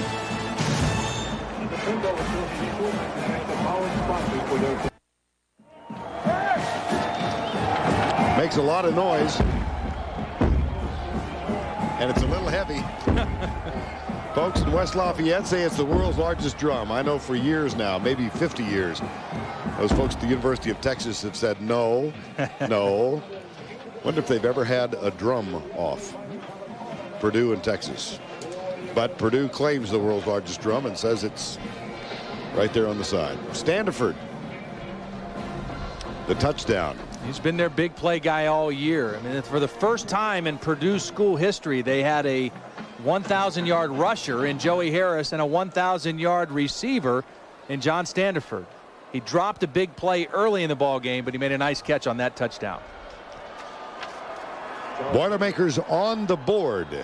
17-7 with 5.09 to go before the halftime break.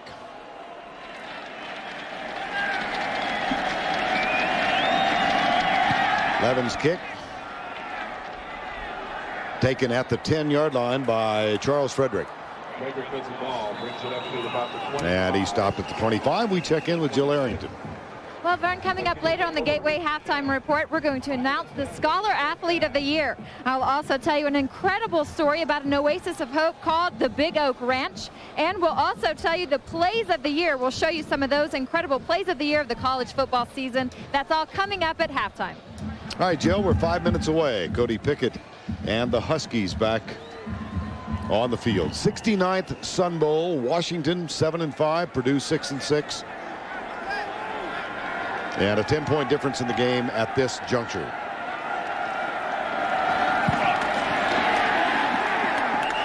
Cleman, number 29. Well, Cody Pickett, Kyle Orton have gone the distance in the first half of play. Pickett has thrown it 25 times. Orton much more conservative. We heard Andre talking about why Purdue hadn't switched quarterbacks. A good move by Joe Tiller and Jim Chaney to stay with Kyle Orton. They felt he was getting in a rhythm, and he did. And it paid off with a touchdown, and they're right back in this football game. 91-yard drive for Purdue to get that TD. Second and 12. There's the quick flip inside. The catch is made at the 32-yard line by Eddie Jackson, a junior out of Columbus, Ohio. See, Eddie Jackson is another big receiver. He's 6'4", 220 pounds. Purdue uh, arguing that the ball came loose. And the officials ruling it was down. But Eddie Jackson, like Reggie Williams, is big. He's 6'4", 220 pounds. And when you run that slant route to a big receiver, it's just hard to defend. It's hard to get around a big body like that. Well, let's see if Jackson was down. Knees Yeah, down. knees Yeah, down. Knees down. The ball gets ripped out. Third and three. Big play here in the first half defensively now for the Boilermakers. See if they can stop it. They apparently have. They're going to get the ball back with 3.43 to go and all three timeouts left. Nice play. That's an option that Washington runs. It's kind of a veer option where he reads, he puts the ball in the belly of the fullback and reads it, either pulls it out and brings it to the edge or leaves it with the fullback. And that time he chose to leave it with Tuiasosopo, but Purdue defended it well. That will bring on Derek McLaughlin, the sophomore punter. And Anthony Chambers will be the deep man, number four. He awaits the ball at the 15-yard line. McLaughlin, line drive, punt. Chambers has a chance to return. And this could be significant. Well, a nice uh, piece of tackling at the 35-yard line, but that one never got more than 25, 30 feet off the ground. Two snaps in a row were kind of slow and wobbly coming back. Second half, Purdue may try to go after one of those punts.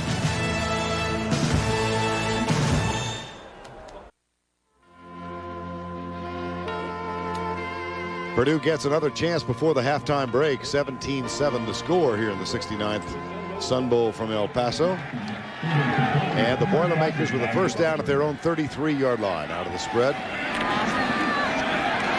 Orton wings it right side, has a man wide open. That's Ray Williams, number two. And the catch moves the ball out near the 45. Time now for the answer. I'm sorry. Oh, I jumped the gun. I'm sorry. No, no, no. No, you, I, I defer. What is it called? Aflac. Thank you. You'd think we'd have our timing down. Been off for a month. Ah, James Phelan. He coached at Purdue from 22 to 29 and then went out west and became the Husky coach from 1930 to 41. I think Kyle Orton has to be smart about here. The worst thing could happen would be a turnover. He's hit eight of his last nine, and they're settled back into the ball game. Man coverage for Standeford. No. Derek Johnson, number 21. We had Johnson beat. Earlier, we saw an underthrow, and Standeford not able to make the catch. This ball not a little bit underthrown, and Standeford a tougher catch. He had to kind of reach back over his back shoulder to try to make this catch, and Derek Johnson there to get a hand in to knock that ball loose. Well, we had the answer to the Aflac question. Now, where is the, oh my goodness. The duck is working.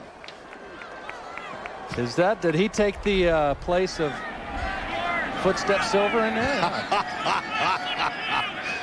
Greg Silver, our producer, maybe uh, maybe absent from the truck. And this the is whistle be blown dead. Yeah. Before the snap, I think. Yeah. Before the bad snap. I mean, it Yes. was a low rolling snap.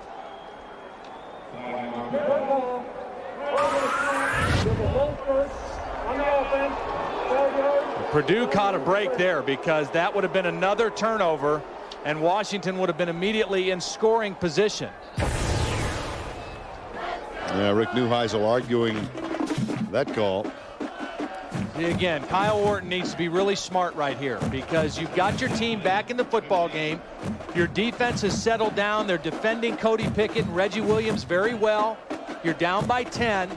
The worst thing that can happen here is to turn the ball over for a third time and let Washington score something right before the half. Be smart with the football here. 2.44 to go before the break. And a second down and 15. Comes the blitz. Everybody slides right. Good job of containment. Boy, that was a terrific job by Derek Johnson of getting up uh, from his cornerback spot. Now, early in the year, Washington really struggled on defense, particularly defending the pass. And then they made some changes in their secondary. One was moving Derek Johnson to the field corner position. He ended up having two games late in the year, back-to-back two interception games. And the other one was inserting the true freshman Nate Robinson in as the starter on the other side. And those two guys, two youngsters, a true freshman and a sophomore, have really uh, changed the dynamics of the Washington defense. Third and 17. Huskies threaten the blitz. They're not. Yes, they are from the corner. Here's Orton. Beautiful. What a pretty pass that was. And a third and 17 becomes a first and 10 at the 39-yard line as Taylor Stubblefield makes a 24-yard catch. Yeah, beautiful job by Kyle Orton reading the coverage and then finding his slot receiver Stubblefield in the middle. He gets in the middle hole area and just a nice throw by Orton before the safety could come over and make the play. Clock runs with 149. Purdue still with all three timeouts left. See, Purdue has much better rhythm right now offensively than they had in that first quarter. They've run the ball out of the shotgun some, and Orton has settled into it. He gets pressure And makes the catch. Wow. Ray Williams, as Kyle Orton had to dodge a tackle. You know what happened? I mean, this is crazy. It looked like Kyle Orton was just trying to get rid of the football, and Derek Johnson never saw the ball. See, watch 21 Derek Johnson. He's going to just come to the receiver, but never sees the football, and Williams just has his eye on it the whole time and waits for it. And what looked like it was a throwaway ends up being a completion for Purdue. Ray Williams with the catch from Scotch Plains, New Jersey. They've picked on Derek Johnson a little bit here. He's on Standeford right now. Orton, heads right. Throws it away. Good decision. Throw the football away. Minute five left. And your full complement of timeouts. And that's uh, one thing Kyle Orton needs to remember right now. He's got all three timeouts. Uh, Brandon Kirsch has not played in this ball game. Joe Tiller telling us I've never been a two quarterback kind of guy, but uh, he has played them both, and we we think we will see them both before the game is over. You know, but it's not like some other things. You know, we saw Georgia a lot this year, and Mark Richt had a design in his mind. At a certain point, he was going to play DJ Shockley. Joe Tiller doesn't have that. I mean, he says he was going to do it all by feel, and right now he feels like keeping Kyle Orton in the football game. There's one of the three timeouts used by Purdue. Time called with 105 to go before halftime. Nice crowd here at the 69th Sun Bowl in El Paso. A nice day. Temperature expected to reach the upper 50s and uh, no threat of rain in the forecast. And some resiliency now by Purdue. Yeah, and Kyle Orton getting into a rhythm and throwing the football well. His first quarter, one of four for six yards. In this second quarter, 10 of 13 for 122 yards. On second down movement. and uh, movement on the offensive line. Pete Lockheed, I think, the left tackle, moved a little early. You know, Kyle Orton, when he was a senior in high school, or before his senior year, attended the Elite 11 quarterback camp out in California. It's a camp where they invite the top 12 quarterbacks from around the country, and he was one of them. Drew Brees was one of the college counselors that was there and spent a lot of time with Kyle Orton. A couple other guys that were there, DJ Shockley, who's uh, playing at Georgia, Brody Croyle, who will be featured in uh, the halftime feature Jill's doing, and Casey Paus, who is uh, backup quarterback here for the Washington Huskies. There's Orton completing the pass on the right side, and the middle linebacker, Marquis Cooper, makes the contact on Charles, Charles Davis, Davis the tight end, and it's ruled incomplete. One of the problems. Oh, I did gain five. Beg your pardon. One of the problems Joe Tiller has right here now is is you know what is he going to do in terms of attempting a field goal?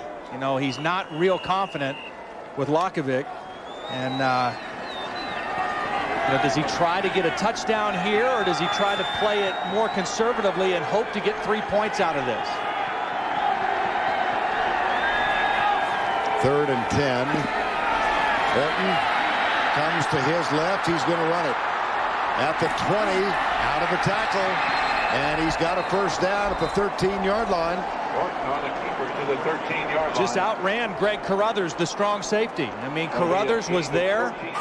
He was in position. And Kyle Orton, not known for his scrambling ability, turns in a huge play for his offense. Brandon Kirsch, more the runner, but he does a nice job of stepping out of the tackle of Greg Carothers and making a big first down. The safety position has been hurt at Washington through injuries this year. And uh, they've had to have some different combinations in there. Carothers is a junior out of Helena, Montana. First down and 10. Here comes the blitz for the Huskies. Orton has it rejected.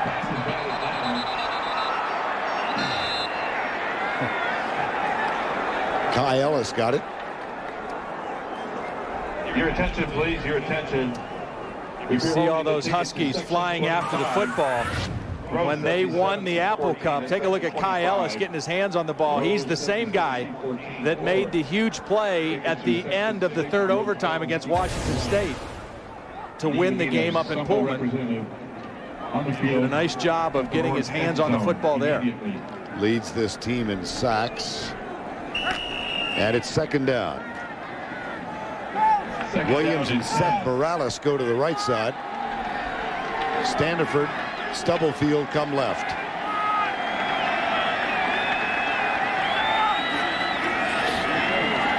Orton pressured to the right. Little safety valve pass out of the backfield. Brandon Jones. Wow, got it. He, he, I think he fumbled it at the end of the play. Yes. But, but one of his own guys recovered it. Touchdown.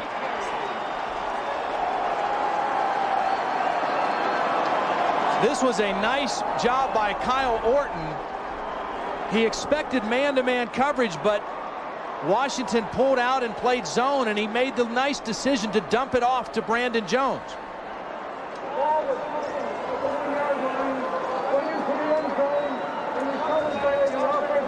Touchdown. Recovered in the end zone by the offensive team touchdown. And another impressive drive yep. by Purdue. Lacevic for the extra point.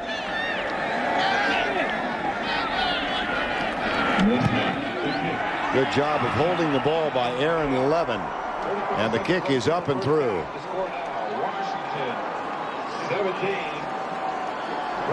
17. See, when Kyle Orton came to the line of scrimmage on this play, he was expecting man. That's what Washington was showing. He was going to work a man route over here. But then Washington drops out in zone, and so he hits the little outlet over here, the back. It's a nice job of recognizing the coverage. It's not there. All right, where can I get rid of the football? He dumps it to his back, and then Brandon Jones with strength at the end of the play. The ball comes loose, and Stubblefield, I think, is the guy who recovered it. Watch Brandon Jones. Ray Williams. Play. Ray Williams. There's the hit and the fumble, and Ray Williams with the recovery. Sam Cunningham is the guy who knocked the ball loose for Washington. And Ray Williams just following the play gets a touchdown. Kind of makes up for the penalty he had earlier that took the ball off the one yard line for Purdue. Comes back and recovers one in the end zone for a touchdown. And Purdue has climbed back within three with 35 seconds to go before the break. 17-14. And Levin will kick off now for the Boilermakers. Little squib will be picked up at the 16-yard line. Frederick popped as he gets to the 28-yard line. Well, really, uh, two completely different quarters in this game. Yeah. You know, uh, Washington owned the first quarter thanks to the turnovers of Purdue. And Purdue owned the second quarter thanks in a large part to the penalties on Washington, those personal fouls. Tonight, ringing the new year with Dave and the Late Show. Don't miss Robin Williams and CSI Miami's Emily Procter. Plus, Astronauts in Space present a special top 10. That's tonight on The Late Show from the 28 with three timeouts left. See what uh, Rick Neuheisel and the Huskies have in mind here before the break. And it's a Rich Alexis who makes his first carry of the ball game. And uh, time has been called, but by whom? Washington. Timeout, Huskies. Clock is stopped with 21 seconds to go before the break.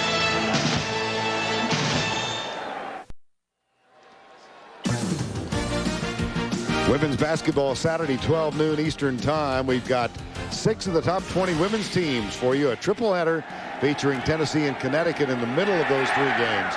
There's a pass incomplete. You know, one of the things that has happened now in this game, too, is the Purdue defense has settled into the game. And this is a defense, again, I mentioned, they are tied with Ohio State as the best defense in total yards allowed in the Big Ten and seven starters on this defense. This is an experienced group. Seven starters started against Washington in that Rose Bowl a couple years ago. So you've got a lot of guys that have played a lot of football together for Brock Spack, the defensive coordinator. And, and right now they have kind of settled in and defended Cody Pickett in this pass offense very well here in the second quarter. On third down, here's Pickett with a draw play. Alexis darts left, and he will be driven out of bounds. Rich Alexis on the carry. Rich Alexis uh, runs into Joe Odom and Stuart Schweigert. And 10 seconds remain before the break. And a little jawing going on on the Purdue sideline.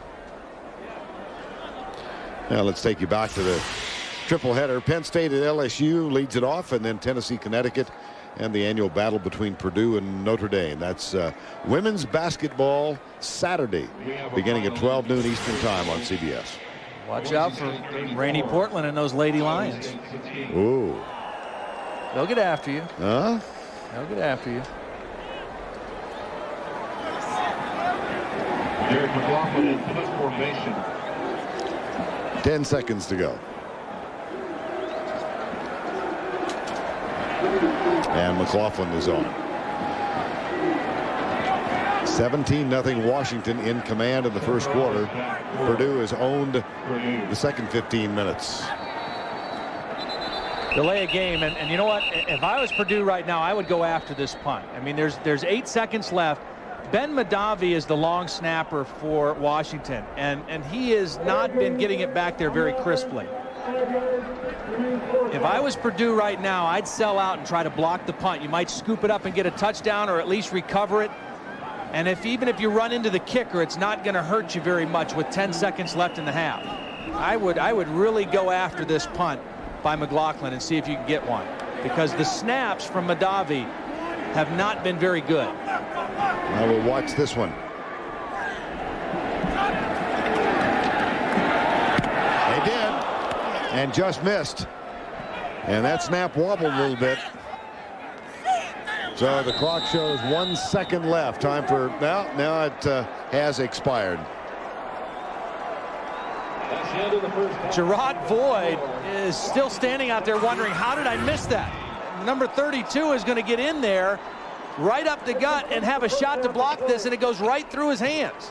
Not able to get the full block. He got a piece of it but not the full block and the half comes to an end. At the Sun Bowl in El Paso, we're at halftime and let's check in with Jill Arrington. Well, Coach Neuheisel, your team dominated the first quarter, but what's happened here in the second to let things get out of your hands? Well, I think we just got so excited about the fast start that we maybe got out over our skis a little bit, got a little impatient, and, and uh, so we just relax and get back to controlling the ball and, and see if we can't get a little bit more consistent throwing game. I think we're going to be okay. The team seemed to lose their composure a little bit. What will you say to them to settle down those emotions in the second half? I don't think either team's lost composure. I thought the officials lost their composure. I think that just the overcalling stuff, if they just relax and things, and I think they've done a better job of that at the end. All right, Coach, good luck. Thank you, Jill. And we'll return with the Gateway halftime report from El Paso after this message and this word from your local station.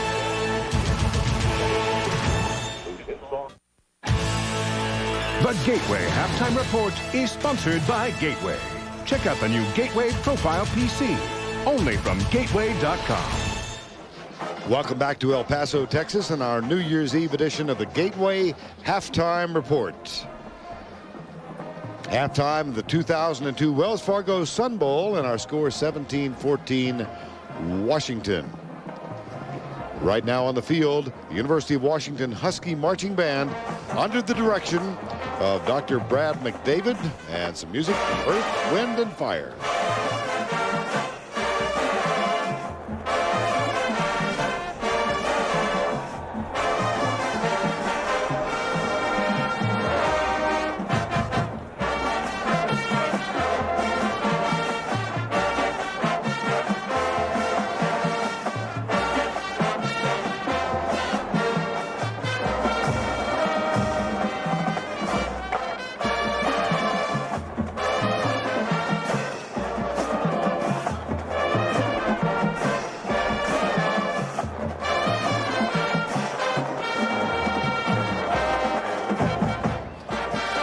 Of Washington Husky Marching Band holiday season also means bowl season. And there are other games taking place here on the final day of 2002. On the blue turf in Boise, the hometown Broncos have defeated Iowa State by a count of 34 to 16. In the Liberty Bowl, first quarter score, TCU and Colorado State at zip zip. And in the Silicon Valley Classic, Georgia Tech with the first quarter lead over Fresno State, 7 to 3.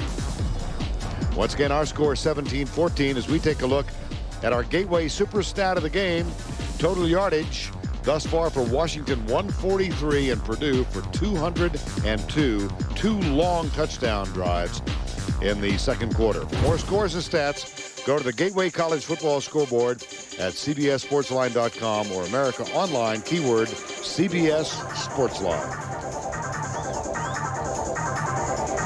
Each week during the regular season on our CBS Sports College Football telecast, the Home Depot Corporation chooses one athlete and recognizes him not only for his accomplishment on the field, but in the classroom as well.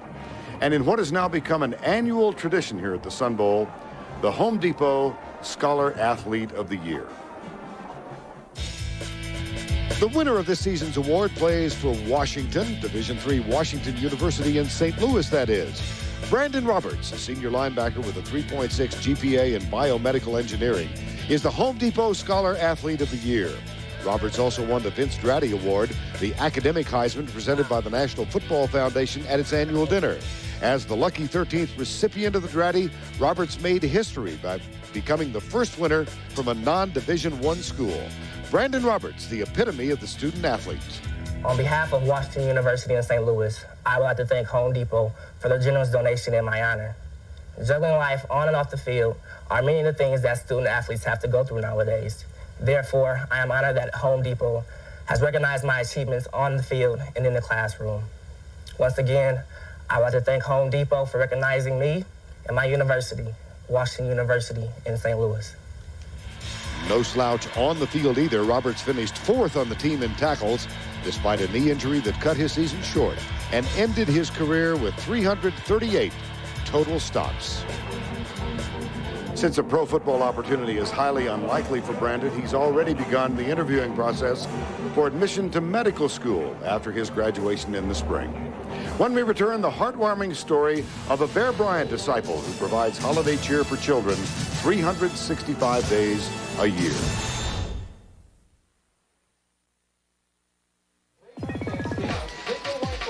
Far from the mountains here in El Paso, back in New York City, the Gateway Research Center continues to hum along, keeping us up to date on all the latest scores in college football bowl news. And here at the 2002 Wells Fargo Sun Bowl, our score at halftime, Washington leading Purdue 17 to 14. It's a little known fact about the Purdue All-American Marching Band. In its 116-year history, there have been only four band directors. The band performing right now under the leadership of the fourth, Dr. David A. Leppla.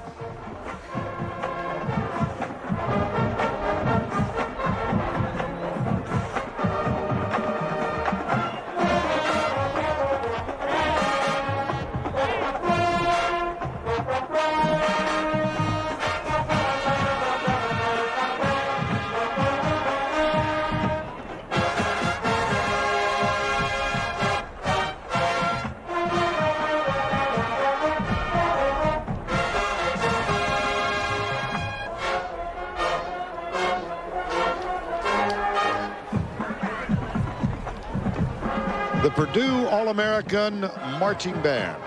And now for more on the Gateway Halftime Report, let's join Jill Arrington.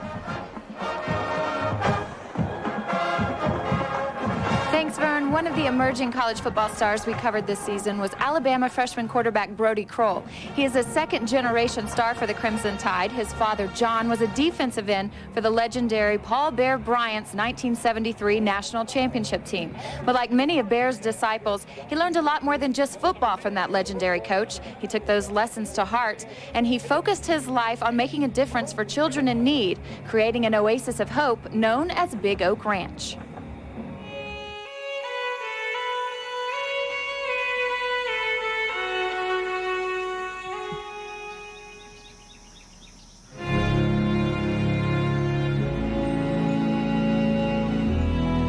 100 years from now, it will not matter the size of home we had, the kind of car you and I drove, or the amount of money you and I had in the bank.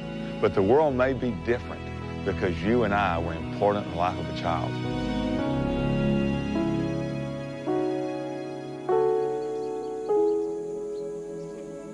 August of 74, I moved out here by myself with five boys. Didn't have a clue. I was 23 years old. I was just stupid enough to realize that maybe we can pull this off. And since then, 28 years, we've had 1,500 children called Big Oak Ranch their home.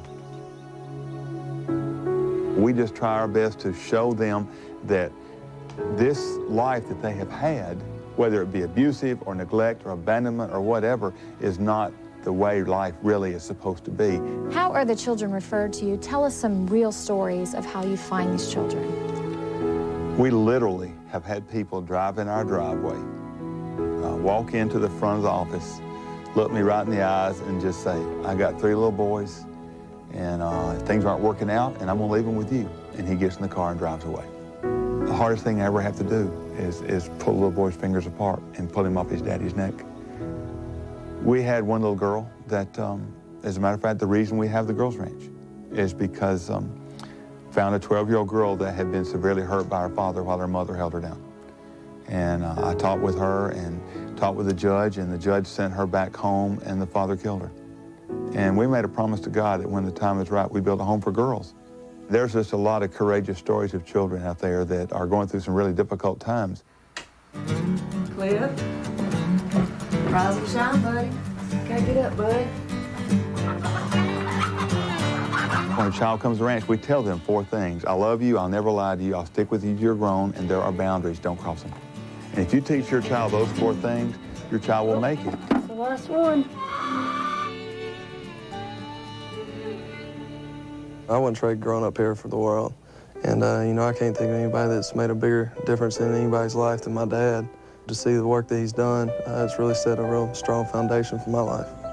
How do you feel about what your dad's done and the sacrifices that he's made to touch so many lives? Um, you know, I can't think of a bigger sacrifice that anybody's ever made. To give up a chance to play pro football and uh, make all that money um, just to start a home for children and, uh, you know, help as many as he could. Um, you know, he's my hero. Oh, look at you. It's a really great place, and you know, it's just like you can just feel the warmth and the love as soon as you walk into our house. We came from a really broken down home, and um, it's just I thank God for all that He's given us because He has given us a, a lot. No matter what you do, we'll always be there for you, and just to let Him know that He don't know how much that means to me. I love him so much. He is just my best friend. And he always thinks of us as his real children, not just ranch children. And I love him for that. You are our heroes. You're our heroes because, you know, you've survived, you've been successful, and you're going to make it, and you're going to be champions.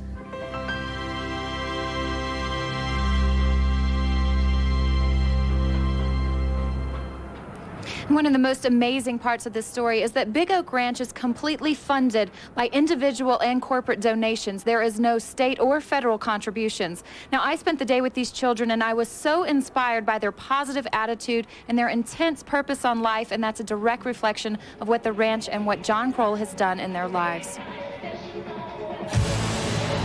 Coming up next, the plays of the year as the Gateway Halftime Report rolls on from El Paso. There's a light in your soul says you're one of a kind. Don't ever let it go. Be original, an individual, yeah, like Dr. Pepper. Bird. Day. There is a start. There Tonight, it's a great night for. Once again, halftime of the Wells Fargo Sun Bowl with the score Washington 17, Purdue 14.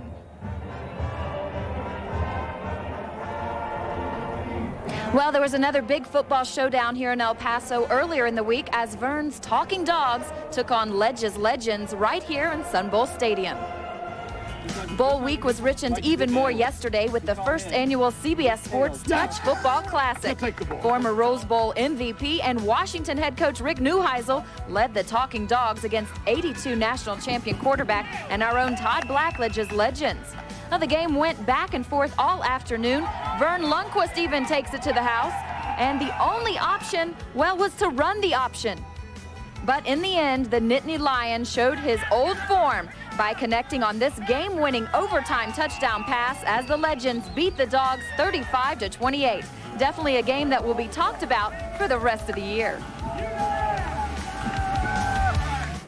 Well, nothing from that game will make anyone's plays of the year list, but fortunately for us, we had a season full of fantastic finishes and memorable moments. So as we wrap up this holiday version of the Gateway Halftime Report, I'll send it back to Todd and Verne in just a moment and say goodbye for now as we take a look at the most memorable plays of the year from 2002.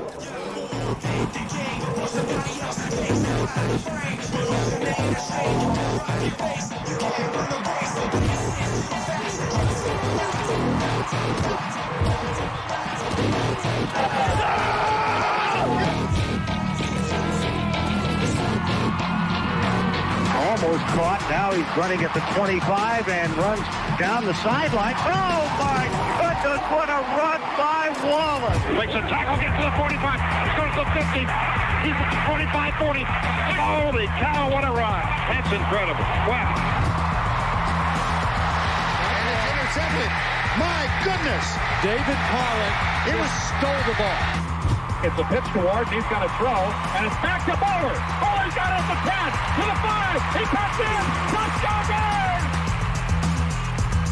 Randall throws it as far as he can.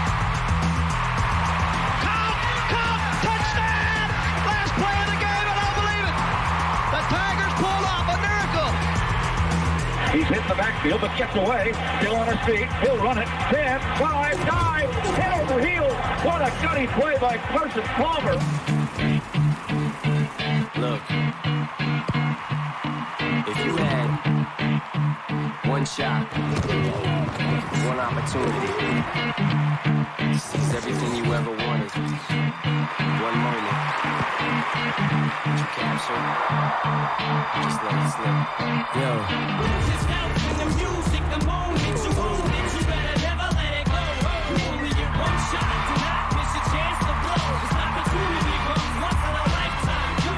Fourth down for the Buckeyes. Throws deep down the left side, and he was able to just pull a miracle out of his pocket. The big pitch and the roll to the left, and a pass into the end zone. Ah!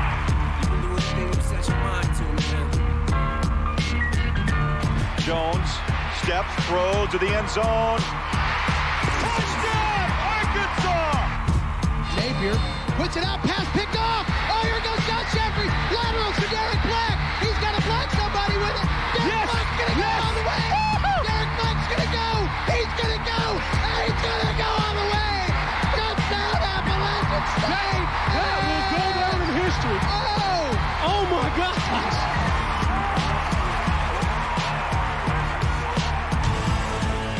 The Gateway Halftime Report is sponsored by Gateway. Check out the new Gateway Profile PC, only from gateway.com. Just a moment ago, halftime festivities coming to a close here at the Sun Bowl on the campus of the University of Texas at El Paso. And at the halftime break, the University of Washington clings to a three-point edge. They jumped out 17 nothing. And then Purdue came roaring back with two second quarter touchdowns. So we are at 17 to 14 as we get set for the start of quarter number three. John Anderson will kick off. Anthony Chambers deep to return for the Boilermakers of Purdue. Verne Lundquist, Todd Blackledge, Jill Arrington, and Andre Ware with you on New Year's Eve afternoon. And here's a big kickoff return. Even bigger. Anderson had to go down low and help make the stop on Anthony Chambers. That is his longest kickoff of the season, 51 yards. Now, he had a 76-yard punt return against Notre Dame. But as you mentioned, his best kickoff return, Gerard Void, the lead blocker, number 32, springs him. And Chambers, a junior college transfer, shows some explosive ability. He's been a guy that uh, transferred from Independence Community College in Kansas. And John Anderson, no kicker likes to be in this position, but he does the job. He goes down low, and he brings Chambers down. Chambers for 51 yards, the ball at the 49. And here out of the spread is Orton going left side on first down. The pass complete at the 43-yard line. And just a moment ago, Andre Ware chatted with Joe Tiller. Coach, we've seen emotions running high all afternoon, all the way into the locker room. What'd you say to your kids to get them under control? Well, I said you got to stay into the game. You know, we got to play football, not thug ball, and we got to get into the game and keep our head into the game. Despite some early sloppiness, you seem to have gotten some momentum going and coming out of the first half. What do you do to keep to capture that and have it carry over into the second half? Well, we think we'll build on this. You know, I think everything that could go wrong went wrong. Fumbled, you know, punt snap, things that we haven't done all year happened to us in the first quarter. So we settle down. Hopefully we're into our game and we'll stay in our game. Great. Will, will we see uh, Brandon Kirsch at some point or are you going to stay with Kyle Orton? Stay with Orton right now. Great. Thanks, Coach. All right, thank you, Andre. What do you think? Well, I think I would stay with Kyle Orton, too. He was 12 of 16 in the second quarter. He's just hit his first two passes of this quarter. So uh, I think Purdue did capture the rhythm there in the second quarter. And in doing so, they also knocked Washington out of their rhythm. And when Washington gets the ball back, they've got to find a way to get their offense back on track. Reggie Williams only two catches for 30 yards. Cody Pickett only 40% completion in that first half. And Kyle Orton and the Boilermakers with the first down. Flag is down. Harris dances out of one tackle. Stiff arm on Robinson. He goes left. And there's another flag at the point of the tackle. I think we have offsides against Washington first and then a face mask on Washington later. I think both penalties will be against the Huskies here.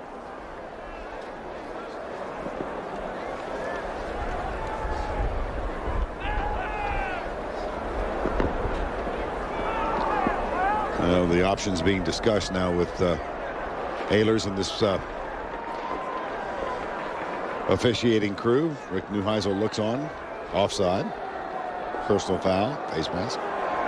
They'll decline the offsides because that's five yards, and they'll take the personal foul 15 yarder and move the ball deeper into Washington territory. On the defense, that penalty is declined. We have a personal foul, 15-yard face mask. On the defense, that penalty is accepted. 15 yards from the end of the run, first down. That's the third personal foul penalty. Now this one different than the other ones, but the third one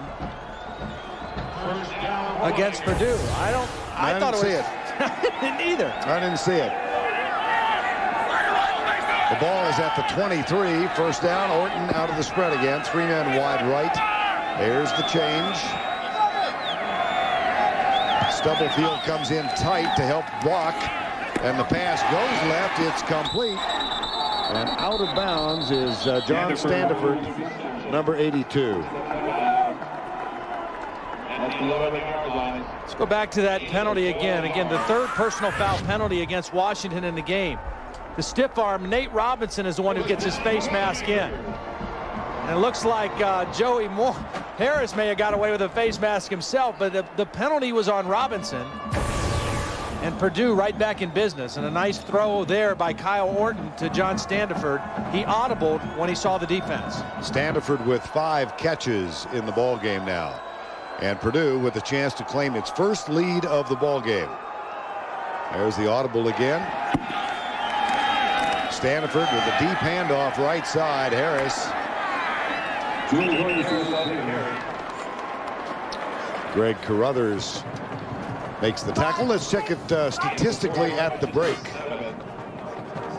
I think the biggest thing to me is right there 143 yards only for this Washington offense. Purdue settled in defensively and held them to an average of 3.6 yards per play in that first half. This is an explosive offense, and Purdue has kind of neutralized them here in that second quarter. Quick count on second down. Harris to the five-yard line. It'll be third down. I want to go back to a point that I made earlier about Kyle Orton. When uh, he was the starting quarterback, he got dinged up in the Iowa game, a concussion. He came out. Brandon Kirsch came in, gave him a spark, replaced him again the next week, then replaced him as a starter against Michigan. And Kyle Orton hung in there, and he competed even harder for the job from that point on. He came in and threw a huge touchdown pass on fourth down against Michigan State, and then played very well against Indiana off the bench in their final game of the year. And he looks good today. Blitz, third and four from the five. Orton in trouble, heaves it, incomplete. And so Lacevic will come on, I'm assuming now, on fourth down. Washington hasn't blitzed Orton very much, but they come after him this time. Carothers, a strong safety coming, Ben Mahdavi coming, and Orton does the smart thing of just trying to get rid of the football and preserve a shorter field goal attempt. A sack there would have really made it difficult for Lacevic. Lacevic 0 for 1. He missed from 32. This much shorter, 22 yards. He's 8 of 17 on the year, and he knocks it home.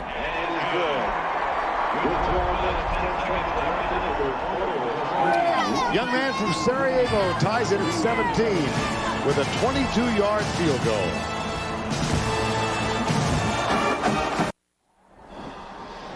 Purdue uses a 51-yard kickoff return to open the third quarter to set up a tying field goal of 22 yards 17-17 Nate Robinson has uh, replaced Charles Frederick as a return man now. Frederick on the sideline riding a bike. And here is the kick. Levin very deep nine yards back. And let's check in with Jill Arrington. Well then let's take a look at the Sun Bowl moment presented by Sonic In the 1979 Sun Bowl between Washington and Texas, all you had to do was tune in to the second quarter. You would have known the result of the whole game. The Huskies scored two touchdowns to take a 14-0 lead. Then Texas, they added this five-yard Brad Beck reception with three minutes, 10 seconds left in the half. And that was all the scoring both teams could manage as Washington defeated Texas 14-7, their only Sun Bowl victory in three appearances. Thank you, Jill. Here's a handoff to Rich Alexis on the first play from scrimmage for the Huskies now. Uh, started with such momentum in that first quarter, and things have slowed considerably. And you know, Cody Pickett and this offense haven't experienced this very much. They have not experienced being stopped and struggling on offense. And uh, you know, he came into this game completing 61% of his passes, but only 11 of 27 in that first half. That's 41%. So they Purdue was able to disrupt him. They showed him a lot of different looks. They changed up their coverages, and now it'll be important to see how Pickett gets back into a rhythm. Five-step drop. He's got a man coming inside. It's Williams. Or Frederick, rather. 1-0 instead of just one. And uh, a 19-yard gain for the Huskies. Now this is nice because you put Reggie Williams over here. Okay, he's your decoy, and you single up over here and you run the little seam post. You put your other receivers down there, you decoy with Williams, and all the while you want to go one-on-one -on -one with Frederick, and they got the nice completion. Uh, just a moment ago, riding the bike during the kickoff return, and then comes on and makes a 19-yard grab. From the eye, here's play fake. And Pickett deep in the middle again. It's intercepted. Picked off by Koutouvides. Middle linebacker Niko Koutouvides got the tip. The ball was a little bit behind Williams. And there was a deflection, and when the ball went up in the air, Koutouvides got it on the rebound. They're working on Jacques Reeves, and watch the pass. A little bit behind, and high, and Reeves gets the deflection, and Koutouvides with the interception. And a big turnover now for Purdue. Reggie Williams, with his strength, usually able to pull those in, but that time, Reeves went up and fought him for the football. That is the second, uh, third pass interception for the season for Niko Koutouvides. Leading tackler on the team. And Purdue with the ball now at their own 43 and a half yard line. Pulling guards, pulling tackles. And Joey Harris goes left. That's uh, Brandon Jones, rather, 27 instead of 25. Well, Cody Pickett picked off. Now 12 of 29 for 134. And Orton, after that slow start, has really gathered steam. Yeah, and it's so much of it for throwing quarterbacks is rhythm. And right now, Kyle Orton has it, and Cody Pickett does not have it. He doesn't have a good feel for the game and the rhythm of the game. On second down, the handoff to Jones. Skips out of a tackle. I must, Greg I, Carothers I must say, too, one of the things that's helped Kyle Orton has been their ability to run the football from the second quarter on. They've gotten some nice runs out of the shotgun, and that takes a little pressure off the quarterback. Washington is struggling still to run the football against this Purdue defense. Flag down. Illegal block Purdue.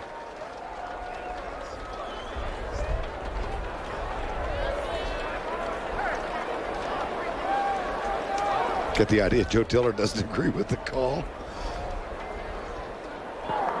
Illegal block by the offense, 15 yards from the end of the run.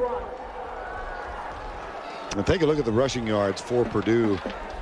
Joey Harris got the biggest of those runs, a 46 yarder in the first touchdown drive. Yeah, and that's balanced out their offense. I mean, they're not huge numbers. 81's not a huge number, but it, it, it makes the defense respect the run and play both. And only eight yards rushing in the second quarter for Washington. That means Purdue was able to really pin their ears back and go after Cody Pickett. Second and 17 with 10 to go in the third.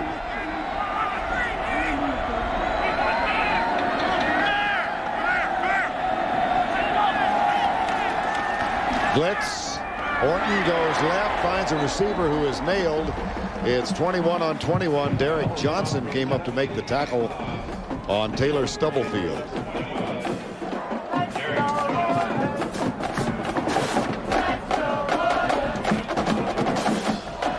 Third down.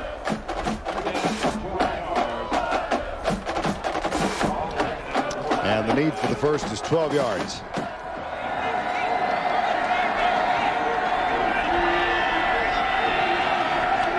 Washington showing blitz. A lot of times when teams show blitz, they drop out. And that's what Washington does here. Matter of fact, they rush only three, but there's Stubblefield with a catch at the 35-yard line. That's the second time that Kyle Orton has found Stubblefield down the middle from his slot receiver position. He reads the zone, he finds the soft spot in that zone, and he delivers the strike to Taylor Stubblefield. Again, Stubblefield, the possession receiver, six catches now for 80 yards, and Standeford, the big play receiver. And a nice compliment between those two guys. And a first down at the 34 in a tie game. Purdue with 198 yards through the air now. And Orton goes under center this time. Here's the toss and the reverse. They want to throw it.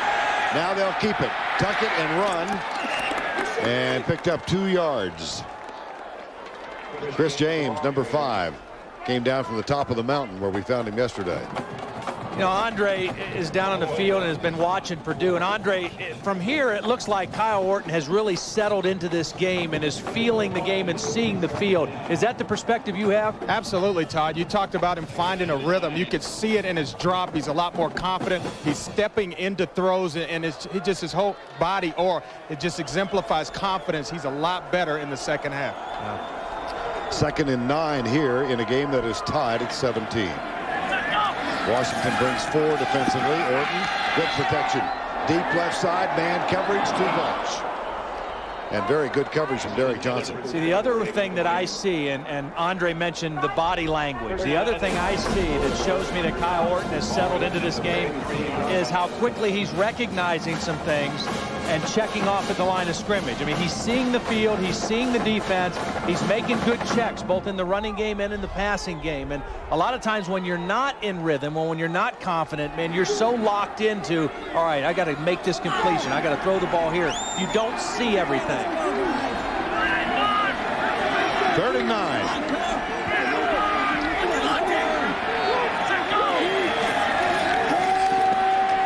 Orton, good run for it, goes deep, and it's overthrown incomplete.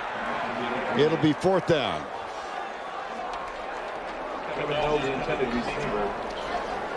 Kevin Knoll, the intended receiver. I think if Kyle had this one back, he would probably uh, keep the football and run. Robinson got away with a little bit of a grab on the jersey, not too harm, too much harm on that play, but two passes in a row that kind of got away from Kyle Orton a little too deep. This is well outside the range of Blachowicz, the field goal kicker. Joe Tiller telling us uh, 37 on in is about as far as he wants to go with him. So they will punt. Here's Slayton. And it goes into the end zone. touchback. Touchback. Seven minutes, 37 seconds remaining in the third. 17 all in the Sun Bowl. CBS Sports presentation of the Wells Fargo Sun Bowl is sponsored by Wells Fargo. The next stage. Jumbo popcorn chicken only at Sonic, America's Drive-In. And by Pontiac, fuel for the soul. We are just across the river from Juarez, Mexico in El Paso on a Sunsplash New Year's Eve afternoon. A tie ball game, 17 all. 7.37 to go in the third. The last four Washington drives, punt, punt, punt, interception. And here is Rich Alexis. There is a fumble. And Washington gets it back at the 21-yard line. I think Khalif Barnes was able to fall on the football. And that was a good running play from a team that hasn't had many good running plays. And Stuart Schweigert is the guy who's going to come up from his safety spot and knock the ball out. Actually, the ground may have caused that fumble. That looked like he still had it when he hit the ground. Nonetheless, Washington recovered it and has it second down in uh, a long eight. Eddie Jackson gets into the huddle late, goes out wide right. Reggie Williams held in check much of this game is at the bottom of the screen. Only two catches for 30 yards. Second and eight. Alexis goes right. Nice pursuit by the Boilermakers, and it'll be third down. See, as good as you can throw the football, and Washington is, is as good as anybody throwing the football. One of the top passing teams in all of college football. I mean, they average 352 yards per game throwing it. But if you don't have some balance, if you don't have some ability to run, it, it plays right into a defense's hand. 15 rushing attempts today, 31 yards, and quite frankly, they play better defense in the Big Ten than they do in the Pac-10. And uh, they're, they're facing a good Purdue defense today. Third and eight. Here's Pickett, lobs it left side. He's got Reddick there, but it's incomplete. So the last five drives are now going to become punt, punt, punt, interception, punt. So when you don't really have to respect the run, you can change up coverages, you can blitz, you can move, you can disguise because you're playing pass almost exclusively. And that's what Purdue's been able to do and why they've been able to force so many punt situations here in this ball game. Anthony Chambers awaits the punt at the 40-yard line. Derek McLaughlin inside his 10. Good snap this time. And McLaughlin gets it away. Chambers moves up and muffs it. That is a muffed punt, and we'll see who came up with it. Purdue does. Well, Wilbur Hooks was the gunner, and Wilbur Hooks, who is an all-around performer for Washington, took his man who was trying to block him and kind of pushed him right into the vision of Chambers. You see right there, that, that distracted Chambers from the football, and he was fortunate to be able to fall on it. Time called on the exchange with 5 minutes 48 seconds to go in the third. From all of us at the University of Washington, we'd like to wish everyone a Happy New Year. Washington uh, captains with uh, holiday greetings to all of you. Their team tied 17-17. Latter moments of the third quarter. Kyle Orton has gone the distance at quarterback for Purdue. They've come back from 17 down to tie this one up. Here's Standeford getting around the corner and uh, moves it all the way near the 40-yard line. A 13-yard gain. We can see a little bit of the acceleration that Standeford has because Jafar Williams, one of those captains we just saw in that greeting, number one, was in pretty good position and had a decent angle to make a play behind the line of scrimmage, but Standeford able to uh, to accelerate and turn it into a big play. Now is tied for first place in the all-time season list with Vinny Sutherland at Purdue and a new record uh, single season yardage of 1264. Of course, this year, all records played, uh, all records, all statistics from bowl games go into the regular season record package. Up the middle. Brandon Jones, number 27. Yeah, this would be a year to really make your mark because first of all you get 12 games, right, and then, and then the bowl game counts. This would be a year to really uh, attack the record books.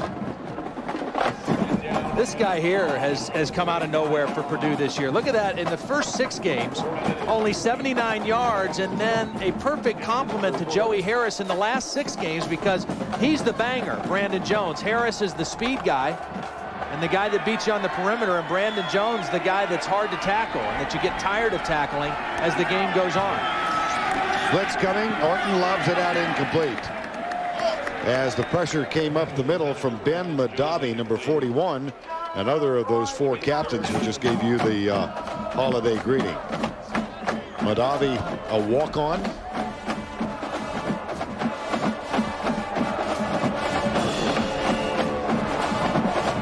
At the University of Washington.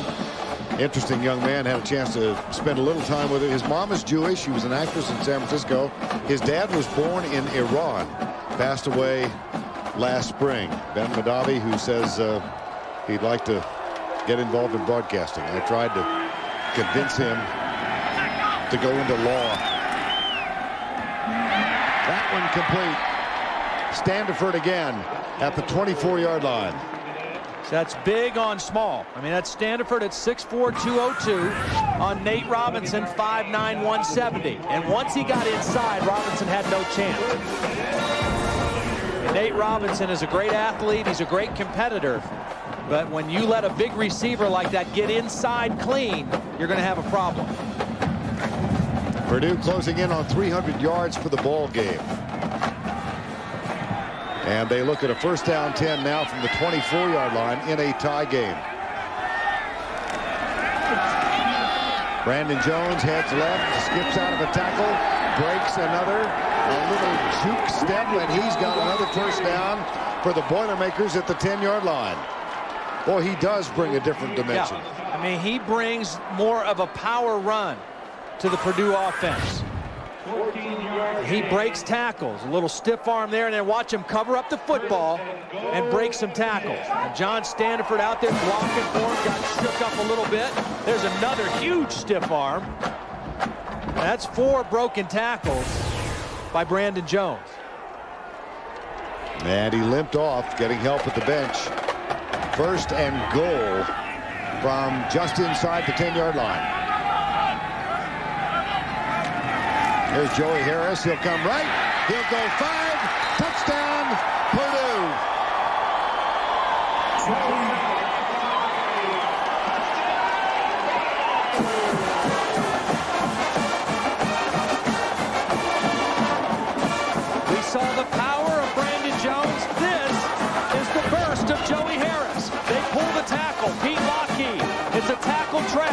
They open up the hole, and Joey Harris finds the end zone.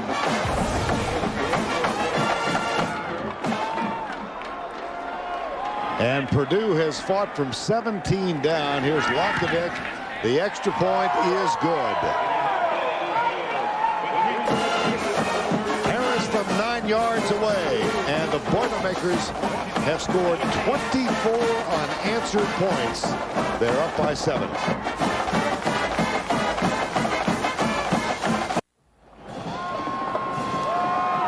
Boilermakers have scored on four of their last five possessions. They have a lead of seven, 24-17. Joey Harris got the touchdown from just inside the 10-yard line.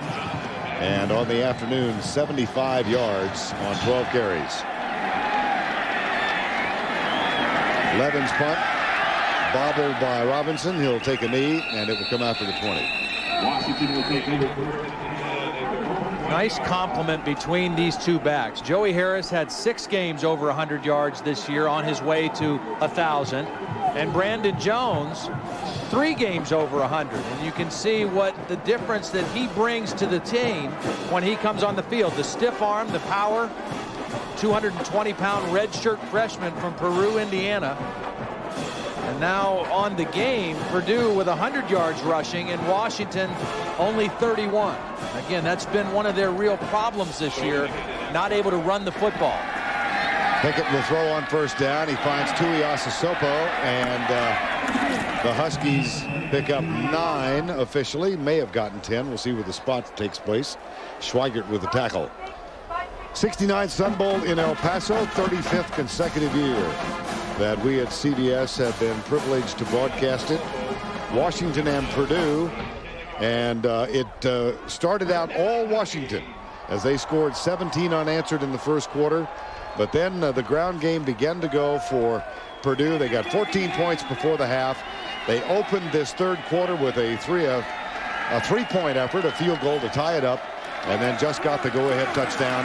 They're up 24 to 17. Rich Alexis, number 24, gets the carry there.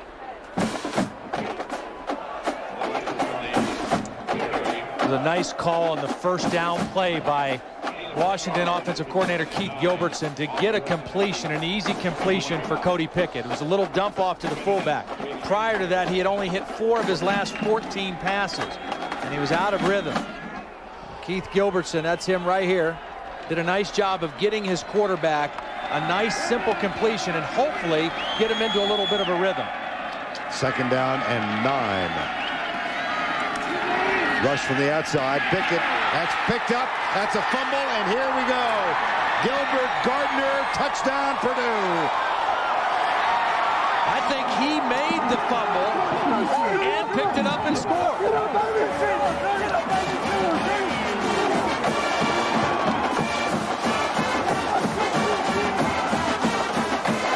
Gilbert Gardner is a guy who has been a starter on this team. He had an injury. He didn't start this year, but watch him strip the football with his right hand and then continue to pick it up and score. What a play by Gilbert Gardner from Angleton, Texas, one of the 18 Purdue players from the state of Texas. Lacevic for the extra point.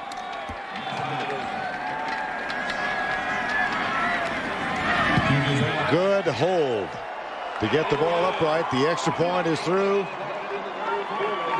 A fumble return by Gilbert Gardner extends Purdue's lead. He went 19. The lead is 14. While you were out, life called. Life called. And guess what? You're late. Because you're trying to be everywhere, do everything. What you need is some serious money management. Experts who can create a model portfolio. Then manage it based on your investment objectives. The money management pros doing what they do. You. You. You doing what you do. Fidelity's Funds Manager Program, a portfolio of mutual funds designed to manage for people like you. Call Fidelity, because you're not just invested, you're personally invested. Time now for the Fidelity Investment scoring recap. The first touchdown of the game.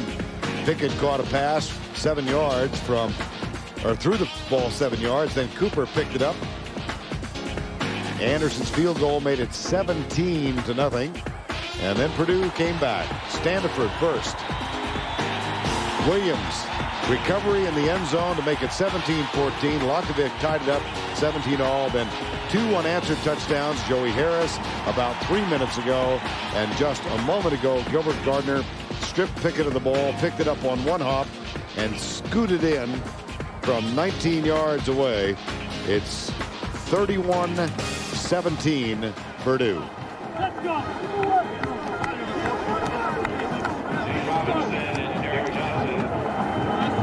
Rick Neuheisel talked about how they th this was really a significant game for them because uh, Todd of the way their season ended a year ago. Yeah, well, they last year they beat Washington State, their huge rivalry game, and then they went and got clobbered by Miami.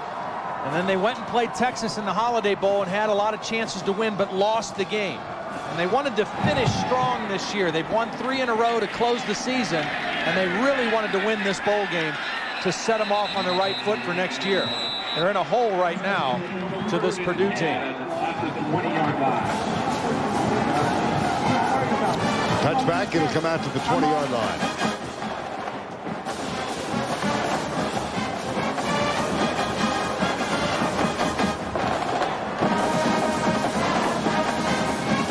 And Cody Pickett and the Huskies come back on. And again, Reggie Williams, their best player, has been pretty quiet. And it's not been anybody locking him down. They've changed their coverages. They've doubled him some. They've played man some. They've played zone. But they've got to get number one back in the football game. Here's Pickett, slips, darts to his right, gets two yards to the 22-yard line. Tackle is made by Shaun Phillips, number 15. Good quick pressure that time by the two defensive ends, Nessfield and Shaun Phillips. Shaun Phillips having a heck of a football game. Junior defensive end.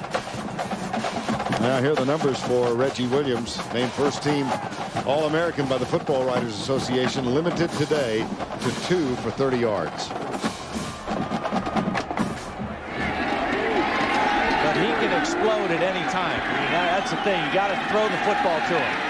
Under pressure, they get it in the hands of Alexis. And he is cut down as he gets a first down out to the 32-yard line.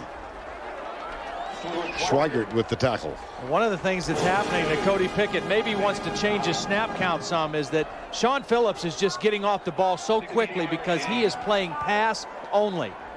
And he is uh, really getting pressure on the quarterback quickly because he's he's guessing on the snap count and he's not worrying about run at all.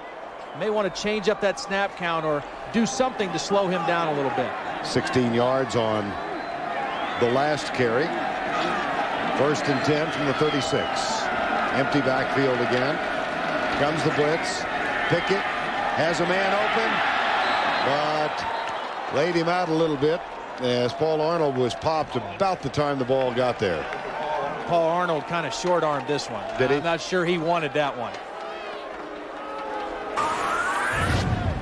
Similar to uh, Footstep Silver, I think uh, Paul Arnold heard the footsteps of Antoine Rogers and didn't make the catch.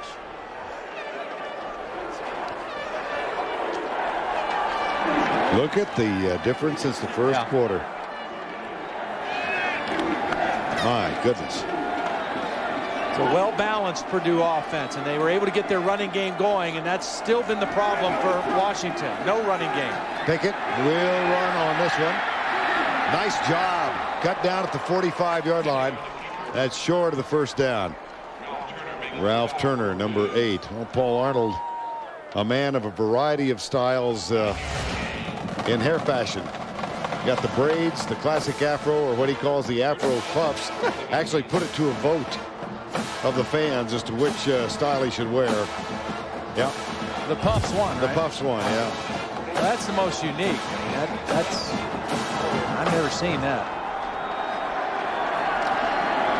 Third and one. Nearing the end of the third quarter of play.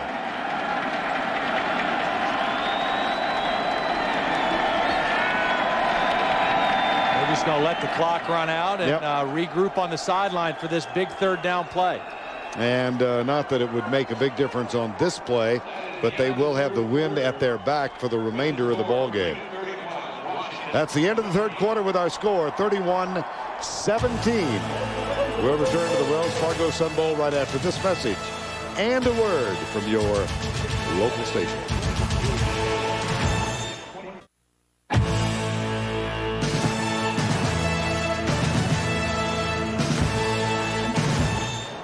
Sun Bowl being played in El Paso just across from Juarez, Mexico for the 69th time. Purdue and Washington meeting here and Purdue with 31 unanswered points. They lead it by 14, third and one Huskies as we start the final quarter. Handoff right side, got the first down and crossed the 50-yard line did Rich Alexis. So the Huskies with a first and 10 at the 49-yard line now, but they find themselves trailing by 14 and Todd they've just given no indication of real offensive movement in the last uh, couple of quarters. Yeah, that was a big run right there. Now, they've only been averaging less than two yards a rush. They got the first down. One of the things they can do if they can't really establish some running game, throw a few more screens, and Cody Pickett has to be alert to maybe scramble out of the pocket. If those guys on Purdue defense are going to run out to cover the receivers, he might have to be the best runner they have. First down and 10. There is a player down on the field. That is Rich Alexis, the running back who uh, carried the ball. He's down at the 49-yard line. He was bothered by a high ankle sprain midway through the season. Only played one play in the game against California and sat out the entire USC game. sometimes you get those injuries and until you're in the off season and you're able to really rest it's hard to get rid of those things.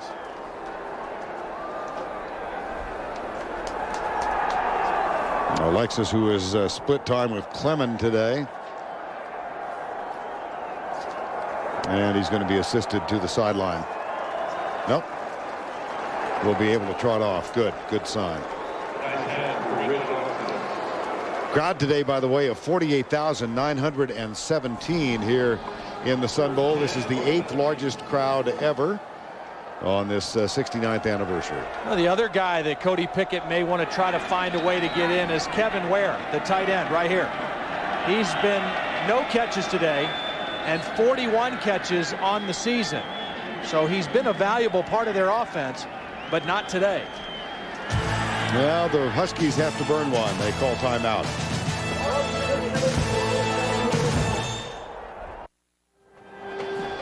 Huskies first and 10. They have outscored their opponents uh, 112 to 61 in the fourth, and they're down by 14 here. That's the good news for Washington fans. The bad news is that Purdue is 6 0 this year when they're winning at the end of the third quarter. Kevin Ware starts in motion. Pickett with some pressure, incomplete. Intended for Charles Frederick, and again unable to look in the direction of Reggie Williams. They've held him in check. Well, they've done a lot of different things to him. They've tried to be physical with him at times. They double covered him. He's had two catches, but he hasn't had any big plays. And that's what he's been known for all season. I mean, coming into this game, 89 catches on the season for an average of 15.6 yards per completion. And he just hasn't made any big plays. So Purdue has done a nice job of changing up their looks on Reggie Williams. Fake the blitz, rush from the backside. The ball is tipped and incomplete. Shaun Phillips again. Again. He, he's had an excellent football game. He's rushing the passer with great quickness. And, and this is a good call because you say, hey, this guy's hurting us with the pass rush, so let's run the screen to his side. But he's able to still get his hand on the football. And when you got a good pass rusher, go ahead and let him come in and throw the screen, but don't let him tip the football. Five tackles for Phillips and a couple other big plays. And now, uh, part of this is Reggie Williams is frustrated right now. With only two catches, he's frustrated that he's not a factor in the football game. And, and great ones get frustrated when they're not involved. Third and 10, fumble. Ball's loose, picked up by the offensive center, I believe.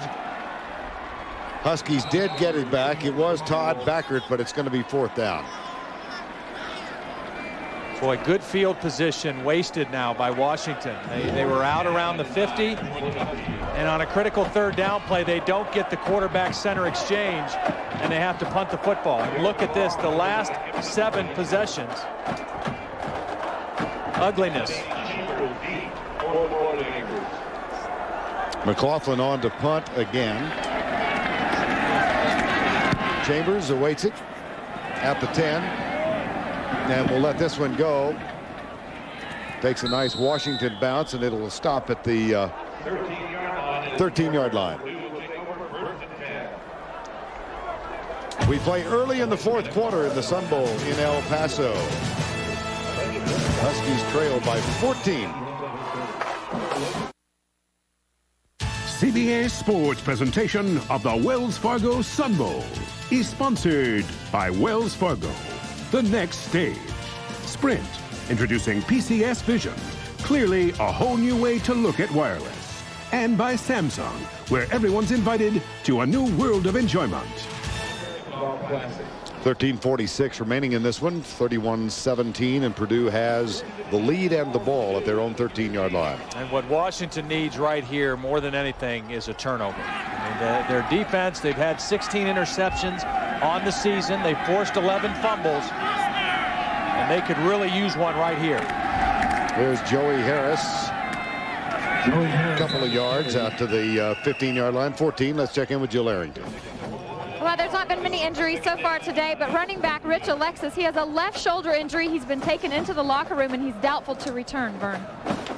Okay, here is the injury. Happened on that uh, third down run for the first down for Rich Alexis. checked with the medical staff, and then it was decided to send him into the locker room. So he is in the Washington locker room right now. Second down and nine, a one-yard gain for Harris on the last play. And Purdue will go from the shotgun. Blitz. And they hand it off left side. That's going to bring up a third down from the 17-yard line. Big play here for the Washington defense because if they get a stop on this third down play, they might be able to flip the field a little bit. I mean, they, have had the poor field position in the second half. They had the advantage of that in the first half, but Purdue has had better field position here in the second half. But if they stop them here, they should get the ball back in good place. Make it officially third and six. Purdue, you see, they've split things up 30 uh, and 31 in terms of run pass in the ball game. Passing situation here. Orton comes left, has Stubblefield. He's got the first down out to the 27-yard line. See, this is just nice work by Purdue matching up. Spread out your receivers and find the best matchup. And the best matchup here was not Standeford on Nate Robinson. It was Stubblefield on the safety, James Sims. The safety is not as used to being in man-to-man -man coverage situations as a corner is. And that's a nice job of finding the favorable matchup and converting the first down. And another typical day for Taylor Stubblefield, the sophomore who found his way from Yakima, Washington to West Lafayette. Seven catches, 92 yards. First and 10, Purdue. Joey Harris got a lot of room, and he's got great speed out to the 41-yard line. That's a first down, and let's check in with Andre Ware. Guys, I'm down with Gene Mruczkowski, the starting center for the Purdue Boilermakers, who's out today with a torn ACL. Your emotions on missing your very first college game of your career. Oh, it's definitely a lot of sadness. I, I'd probably have to say it's probably the hardest thing I've gone through in my college career. You know, I, I sat out my first year as a redshirt, but, you know, I know I wasn't playing. But then after that, I missed a game, and it's just really tough today. Well, let's watch this play together, and we'll come back. All right, Andre, first down after the 14-yard gallop by Joey Harris. And they'll go from the spread. There was some suggestion that they were going to play Gene at left tackle the first play of the game just to get him in the game to start. And then the coaches changed their mind, thought that'd be too dangerous. And let's go down to Andre with Gene Mruczkowski. What words of wisdom did you pass on to uh, Nick Hardwick today, who started at center in your place? I just told Nick, calm down and take it easy, because if you get too excited at center, it's real easy to mess up. Guys, 48 consecutive starts. You think they missed him? Absolutely. Back upstairs to you guys. All right, Andre. And the amazing thing about that, too, is, I mean, he's injured now, but to play that many games without being injured as an offensive lineman, remarkable. Second down and nine. And there's the man who's taken his place, Nick Hardwick.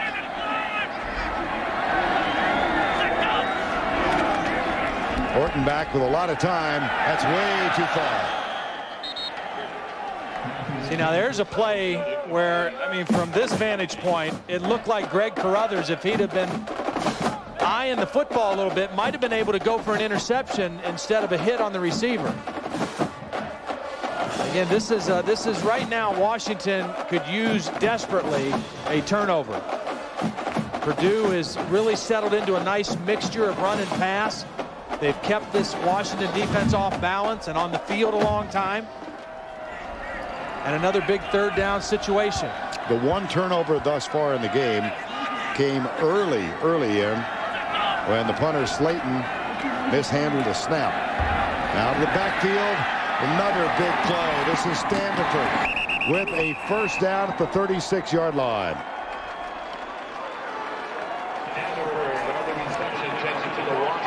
Well, this is a case where the best receiver for Purdue got lost in coverage. It's zone coverage. They only rushed three. And Orton was able to find his favorite receiver on an underneath crossing route with no defenders around him. And again, you see the speed and the acceleration of John Standeford.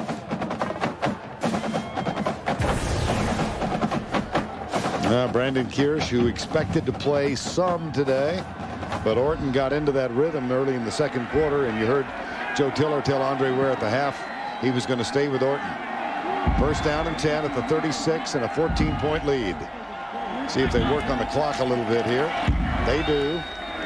Harris trying to bounce to the outside. Can't. Loses yardage all the way back to the 43. Hopoi, number 56, makes the tackle. Tonight on CBS, Courage, Honor, Duty, Adventure. Tuesday's number one drama has it all. Don't miss Jag. Tonight at 8 o'clock, 7 Central on CBS, America's most watched network. You know, I have always admired your broadcasting talents. And, uh, but this weekend, I've had a chance to experience and witness some of your other talents. I mean, that football, your your Where? burst and acceleration after that catch in the football game the other day. Where are you going with this? I got one other thing that stood out.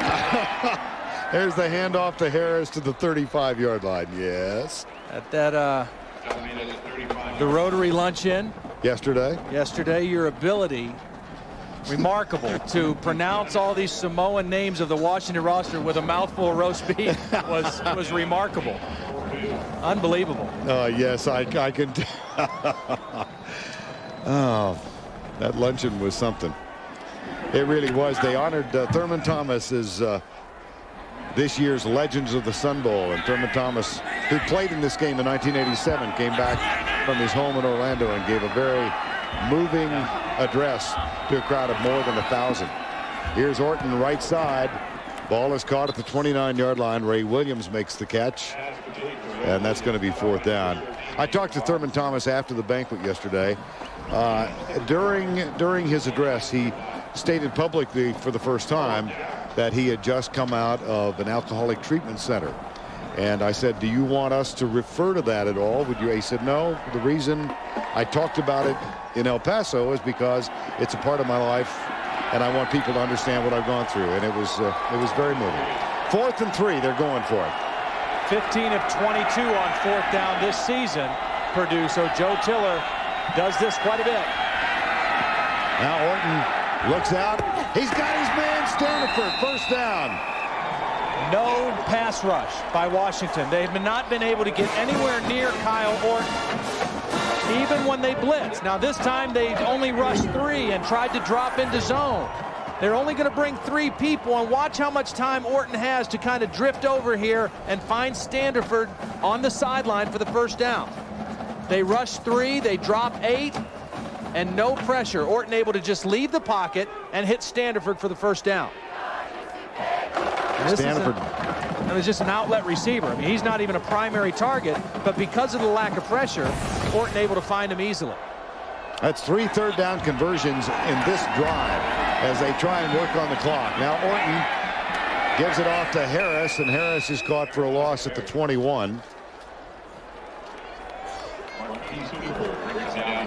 Marquis Cooper with the tackle. You know, Andre talked about this earlier in the game. Purdue with six losses by a total combined 26 points. And in those losses, I mean, they had a chance to win every single one of them. And, uh, you know, they, they turned the ball over so many times. When they lost to Iowa, they had a blocked punt and a blocked field goal, both returned for touchdowns. Notre Dame. Notre Dame, they had uh, two fumbles and an interception return for touchdowns. And uh, in so many games, and the resiliency of the team is uh, is really something that uh, is impressive. Here's Orton, drills it, caught at the 10. That's another fine catch. Well, there is a forgotten man on this team, Montrell Lowe, starting running back. And uh, in the first three seasons, averaged 194 yards rushing and 826 yards this year. Just hasn't been able to get time on the field. Yeah, I mean, it, it, it, the coaches insist that he's not in the doghouse for anything, but just that Joey Harris and Brandon Jones have kind of earned more playing time than Montrell. And uh, hard to argue when they've run for as many yards as they've run for this year. 2,438, the fifth most in school history. Third and two. This is not going to be there. It'll be fourth down. Yeah, let's see if uh, Lacevic comes on for Joe Tiller. You know, the even if they don't make the field goal here, which obviously Joe Tiller would like to do that, but they took seven minutes off the clock Right. in that drive and, and just keep the ball away from Cody Pickett and away from those wide receivers. And a team that needs two touchdowns, time uh, is certainly of the essence. And this from 29 yards away for Berin Lacevic out of Salina, Kansas, Sarajevo, his hometown. Two of three for Lacevic. Nicely done. And the Boilermakers at Purdue have now scored 34 unanswered points. There is a place where you can have a hopping good time. A place where the sun never sleeps. A place where time flies by. A place rich with color, sound, and food. A place so full of life that nature decided to share it with both Texas and Mexico. El Paso and Juarez.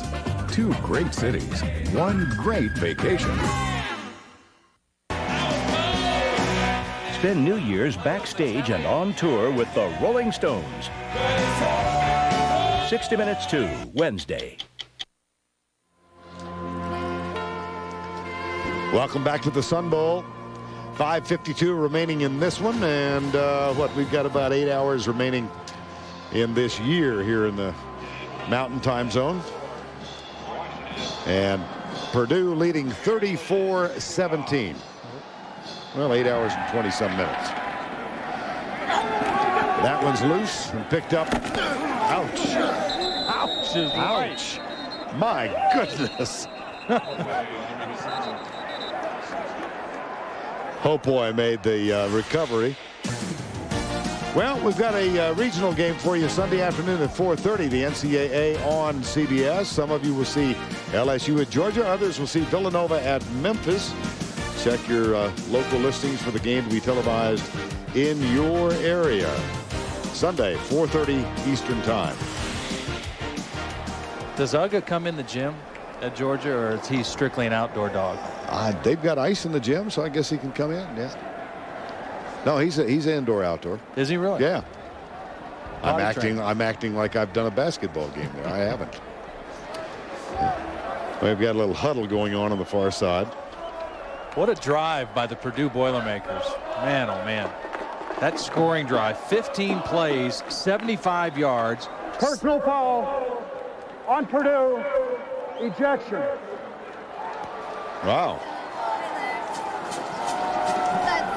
Now I understand that they don't want to identify guys who are holding an offside, but if you're ejecting a player for crying out loud, let us know who it is. Right. You know, just ejection. So a player has been ejected, and we'll track it down and get it to you. Got Andre Ware sleuthing over on the sideline. First and 10 at the 40 yard line. First and 10 with 5.43 to go in this ball game.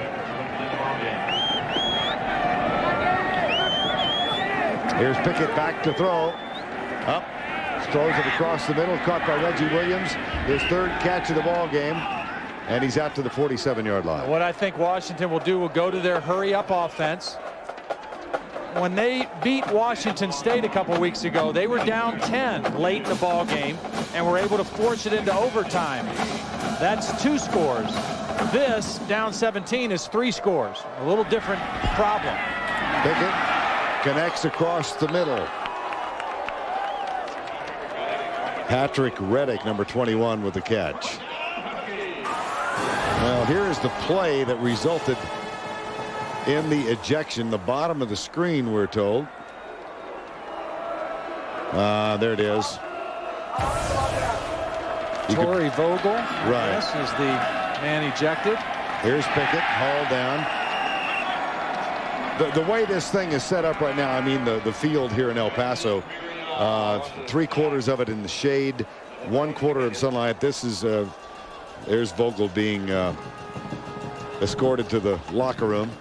This is really a video engineer's nightmare down in the truck, trying to shade the, the pictures and keep things in balance. We got two of the best, Bob Duffy and Al Cheselton. Here's the Pickett sliding down at the 37-yard line. It's just just about impossible. Yeah. The contrast.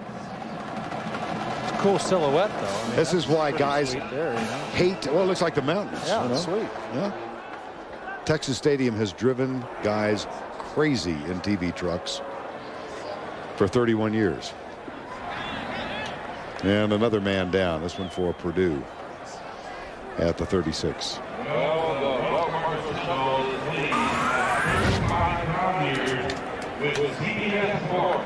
Yeah, that was uh, two Purdue guys into each other, and the bigger of the two, Fleming, is the one who's the slowest getting up. Another of the Texans.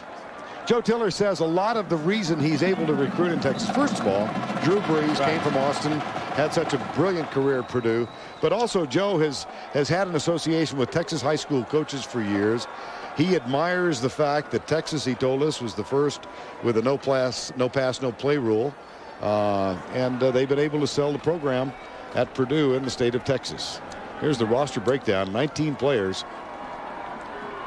And And uh, Andre, you've got something to add to that? Yeah, I talked to uh, Ted Gilmore, the receiver coach for the Purdue Boilermakers, and he said a lot of that success it was right directly attributed to the success Drew Brees had here at this school. Also, playing in Texas bowl games uh, has also helped them. He said the one big hurdle that they got to overcome is the weather in Lafayette, Indiana. Uh, Joey Harris was telling us that uh, when it snowed, and it snowed very briefly here yesterday, uh, the Purdue guys were getting on him as a native Texan about uh, atmospheric conditions here. Here's Pickett, left side, incomplete. Frederick, the intended receiver, Wednesday, January 8th on CBS Star Search. Help discover stars like Ray Romano and Alanis Morissette. Will be next. The search is on.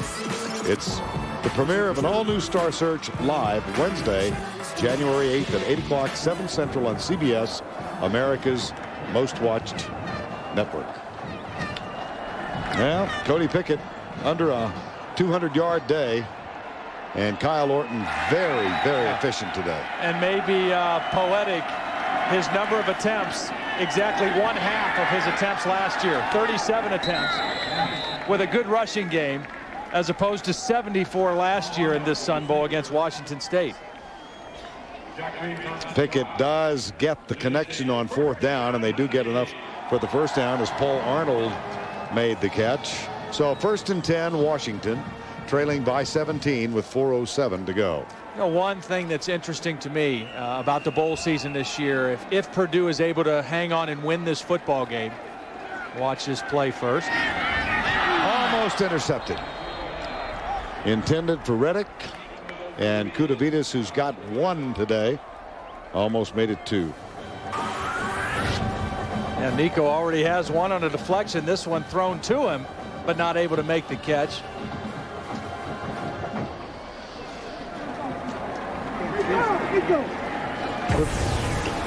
Reggie Williams on the bench, three for 37. Second and 10. Wilbur hooks wide to the left side. Frederick is at the bottom of the screen. Here's Pickett. That one is incomplete, and a flag is thrown. Gonna get pass interference over the back of Frederick.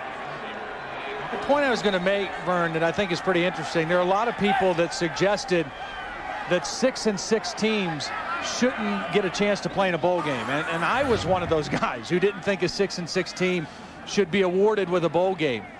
But if Purdue is able to hang on and win today, there were three teams with six and six records coming into the bowl season. Two of them have already won their bowl games. Ole Miss beat Nebraska in the Independence Bowl, and last night Wake Forest beat Oregon in the Seattle Bowl. Purdue, if they are to win today, would be the third six and six team to win in the postseason. Here's Pickett, brings it back to the near side. And that's a tackle eligible Khalif Barnes, number 65. I looked on in shock there for about three seconds. Little trickeration by the Huskies. Here's Khalif right here. So they got an unbalanced line on the other side to make him eligible on the end of the line. He shows block. And they throw the throwback screen to the big fella. 6'5", 300 pounds from Spring Valley, California. Got to tuck that ball, though. I mean, that, ball could get popped out. Tuck it away. Well, a moment in the sun, in the sun bar, shade in the Sun Bowl, and an eight-yard catch for Khalif Barnes. Second down, 3.44 to go. Second and two, here's the option. Pickett cuts up to the 13-yard line, might have gotten the 12. See, Purdue's happy to give up plays like that because the clock is their friend right now.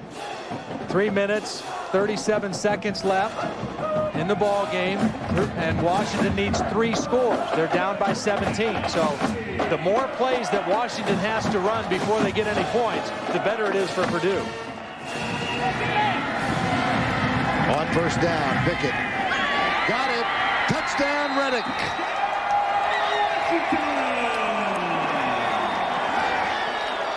12 yards, second TD connection, Pickett and Reddick today. Nice quick read by Cody Pickett, the inside slot. He's just going to run the slant, and he gets inside his man. The linebacker takes a step out, and that's all that Reddick needed to get inside to catch the football.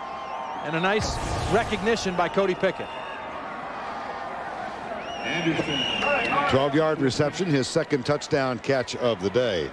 And John Anderson is on for the extra point, which is up and good. Well, we began the day talking about these two teams meeting in the Rose Bowl two years ago. The score then was 34-24. 331 remaining in regulation, a 10-point lead now as Washington scores for the first time since early, midway actually, through the first quarter when they held a 17-0 lead. And we expect the onside kick coming from John Anderson now. With 3.31 to go, Huskies have two timeouts left. Purdue all three. This guy right here is a guy to keep your eye on. That's Wilbur Hooks, the end man over there for Washington. There's the kick. And it didn't go 10 yards. It was recovered by Purdue.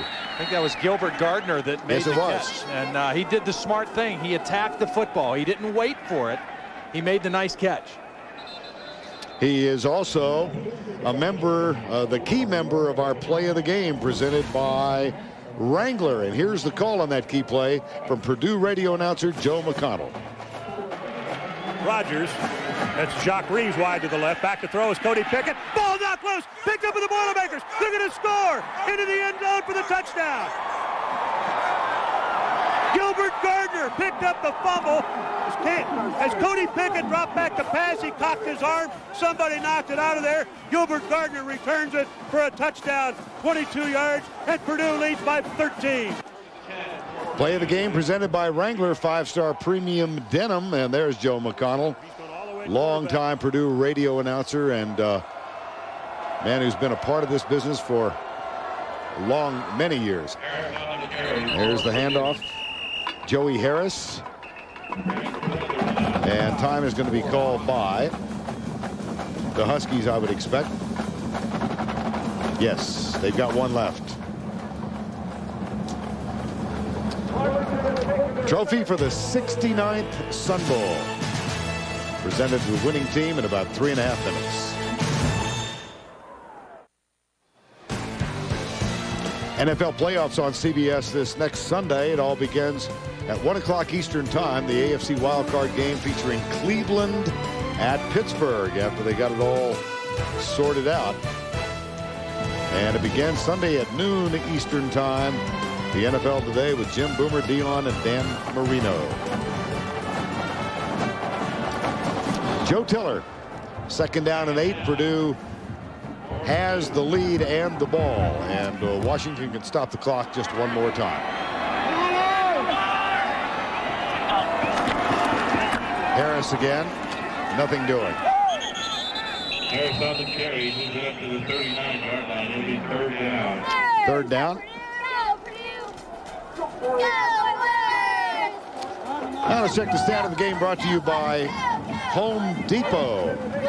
CBS Sports Line stat of the game, 407 total yards since the first quarter for Purdue, and Washington held to 158. Get complete bowl game stats at cbssportsline.com or on America Online, enter keyword CBS Sportsline.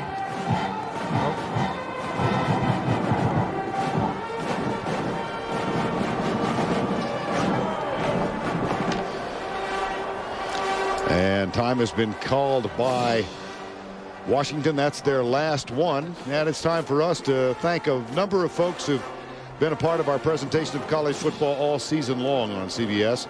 The executive producer of CBS Sports, Tony Petitti, the coordinating producer, Harold Bryant, coordinating producer of CBS College Football, Craig Silver, our director, Bob Fishman, associate directors, Sellers Shaw and Roger Wilson, broadcast associates, Steve McKee and Andy Friedman. Third down.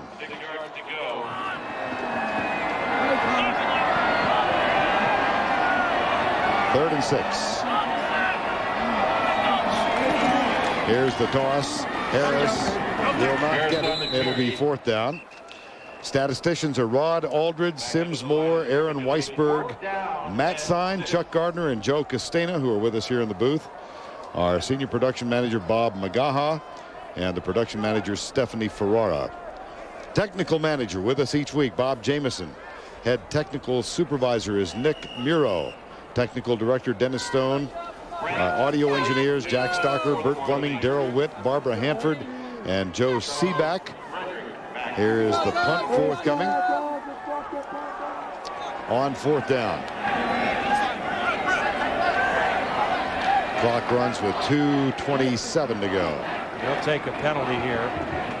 Run as much clock off as they can down to two minutes and 21 seconds left in the ball game. Video engineers are Bob Duffy and Al Cheselton.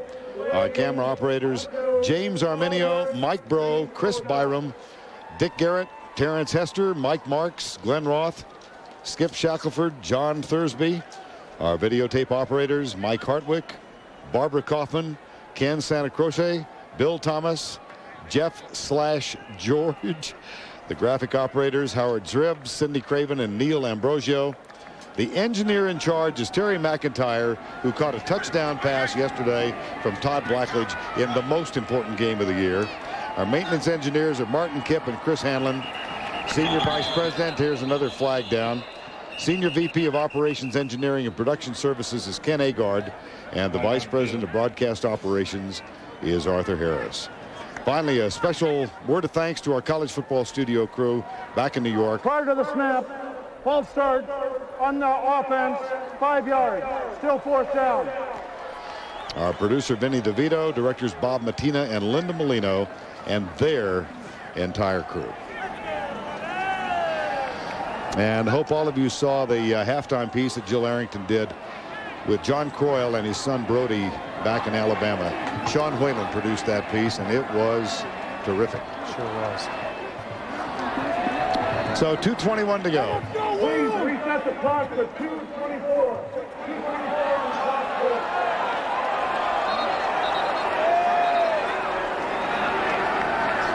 You know, reading that list, it strikes you how many people it takes to put this thing on the right. air and uh, how much like family we all truly are.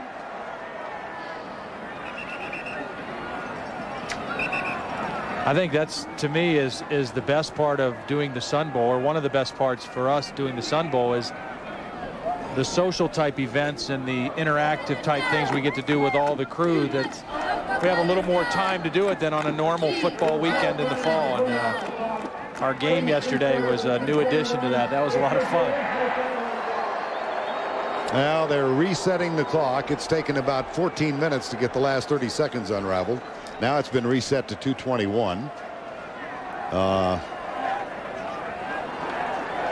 and we'll try the punt again. Now the first annual CBS College Football Crew touch football game yesterday. Jill Arrington caught a couple of passes. She had you. great hands, I'll yes, indeed. Here's the punt. And Frederick grabs it. Heads to the right. Got a little bit of room. He's out to the 30-yard line.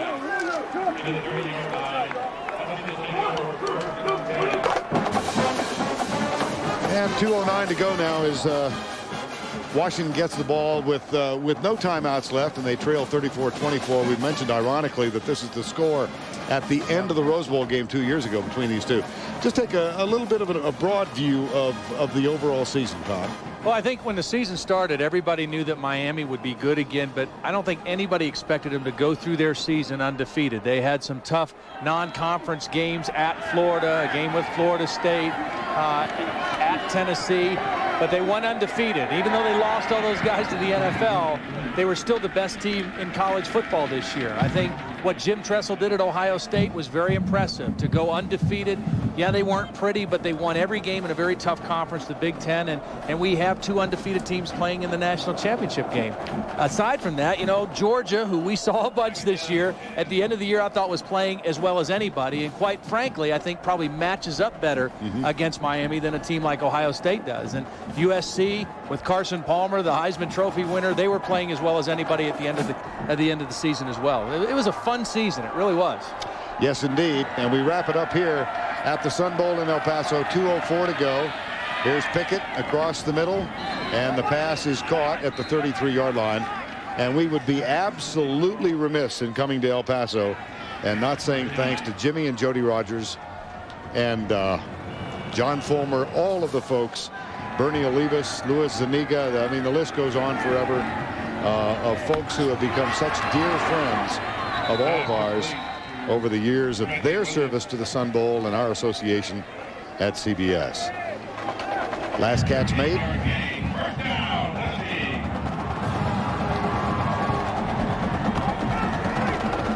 Well, Kyle Orton got the got the give and went the distance today. He came in and replaced Brandon Kirsch in the Indiana game and played as well as I've seen anyone, you know, play and he picked right up after a, a, little bit of a sluggish start here in the first quarter, picked it right up and uh, has become our player of the game. 25 of 37, 283 yards, no interceptions, and two touchdowns. Look at that in the last two Sun Bowls, 702 yards.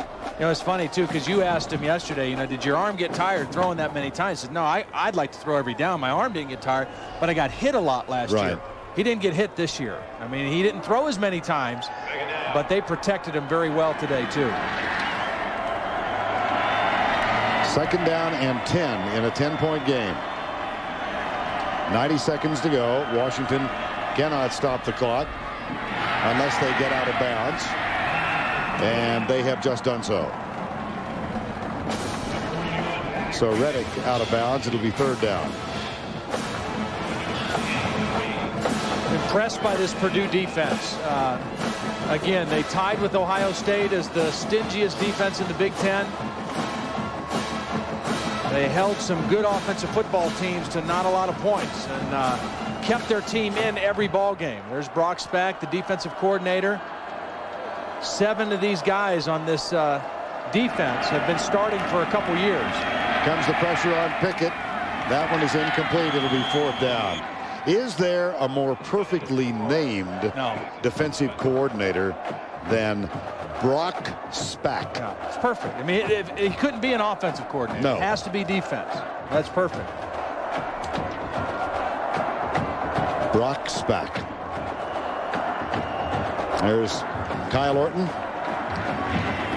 And Washington now fourth and nine with 119 to go.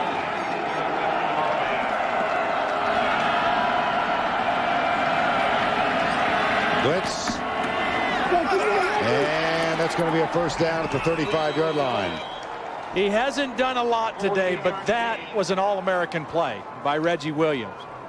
I mean, the strength that he showed at the end of that catch to fight off a couple tacklers and get the first down was impressive. And a new set of downs for Cody Pickett with a minute 13 left.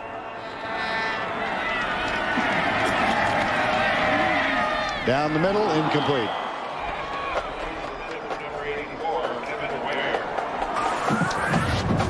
Watch Williams at the end of this. I mean, he gets knocked around by Koutouvides and by Jacques Reeves, and he keeps fighting forward for the first down. It's been a frustrating afternoon for a great player, but he made a great play right there. Not too frustrating for that player. That's been a nice afternoon for Kyle Orton. Second down and 10. But Kevin Ware has just been non-existent. They tried to hit him that last play, the tight end. There's the pass. Caught out of bounds. It'll be first and goal at the seven-yard line.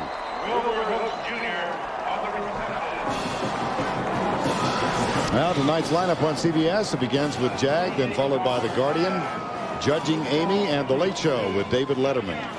That's tonight's lineup on CBS.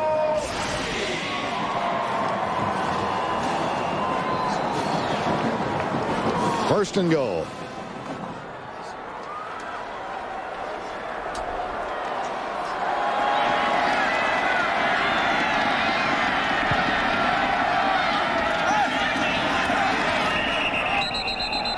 Flag is down. Dead ball foul. Procedure call against the Huskies.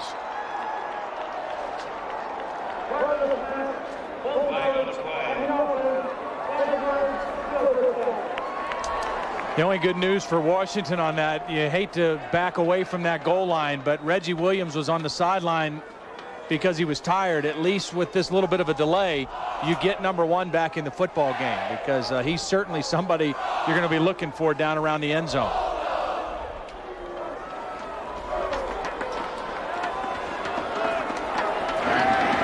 They like the little slant routes in situations like this with the slot receivers. Reddick and Williams both in the slot. Here's Pickett back underneath. Catch is made at the 12-yard line. The catch made by Wilbur Hooks. And the clock running with 48 seconds to go. Second down and goal. Not a real good place to go with the football on that one with no timeouts. Throw towards the end zone and not so short underneath. Pickett looks in the end zone. It's behind the intended receiver. It'll be third down. And the clock shows 31 seconds to go. It's a young Washington football team. Cody Pickett will be back next year. Reggie Williams will be back. Frederick will be back. Patrick Reddick will be gone, but a lot of the other receivers. It's a young offensive line. They open next year at Ohio State, which uh, will be a test. They opened with Michigan the last two years. Third and goal. And uh, no flag on the play. There's a fumble. Yeah, there's a flag on the bottom. Okay. Yeah, we did get one on the near side. This guy's flag is all uh, twisted up. There's not much to it.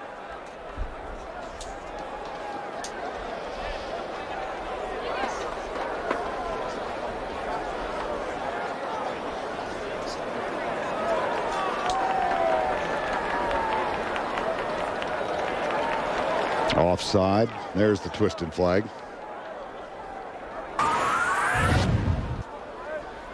See, there was an offsides, and Cody Pickett said, well, I'm not going to give up on the play. I'm going to go ahead and run the play and throw it out to Reggie Williams and see if he can make a play. Shaun Phillips, who has done a great job of anticipating the snap count. A little bit too much anticipation. Offside on the defense.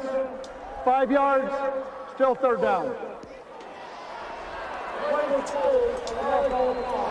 So 22 seconds to go.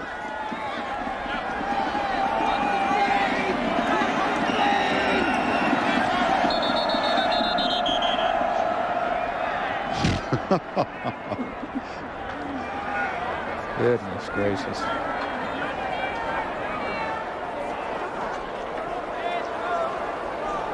Just a little discombobulation here at the end.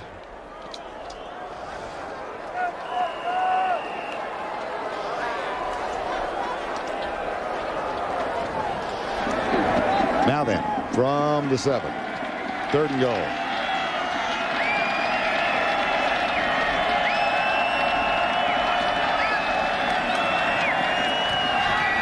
Incomplete, fourth and goal.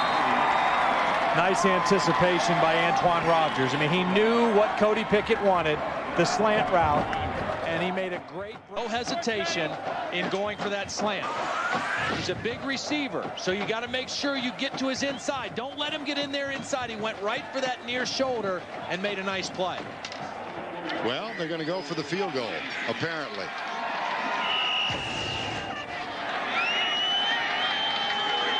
Interesting. Anderson's kick is up, and it ricocheted off. It was no good. That was an interesting decision. Well, he needed two scores. Yes. Yes, they did. Tried to get one of them.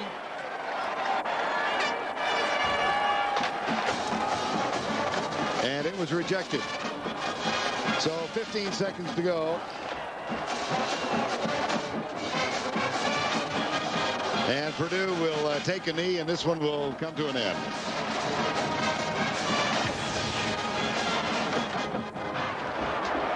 Very interesting.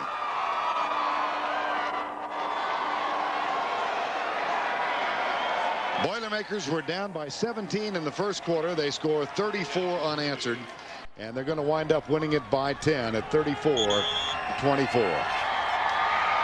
And finish the season seven wins and six defeats.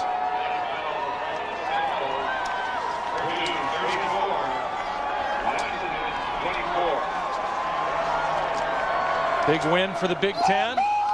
The Pac-10 drops to one and four in the postseason as of right now. Two teams will play in BCS ball games, USC and Iowa in the Orange Bowl, and then of course Ohio State against Miami in the Fiesta Bowl.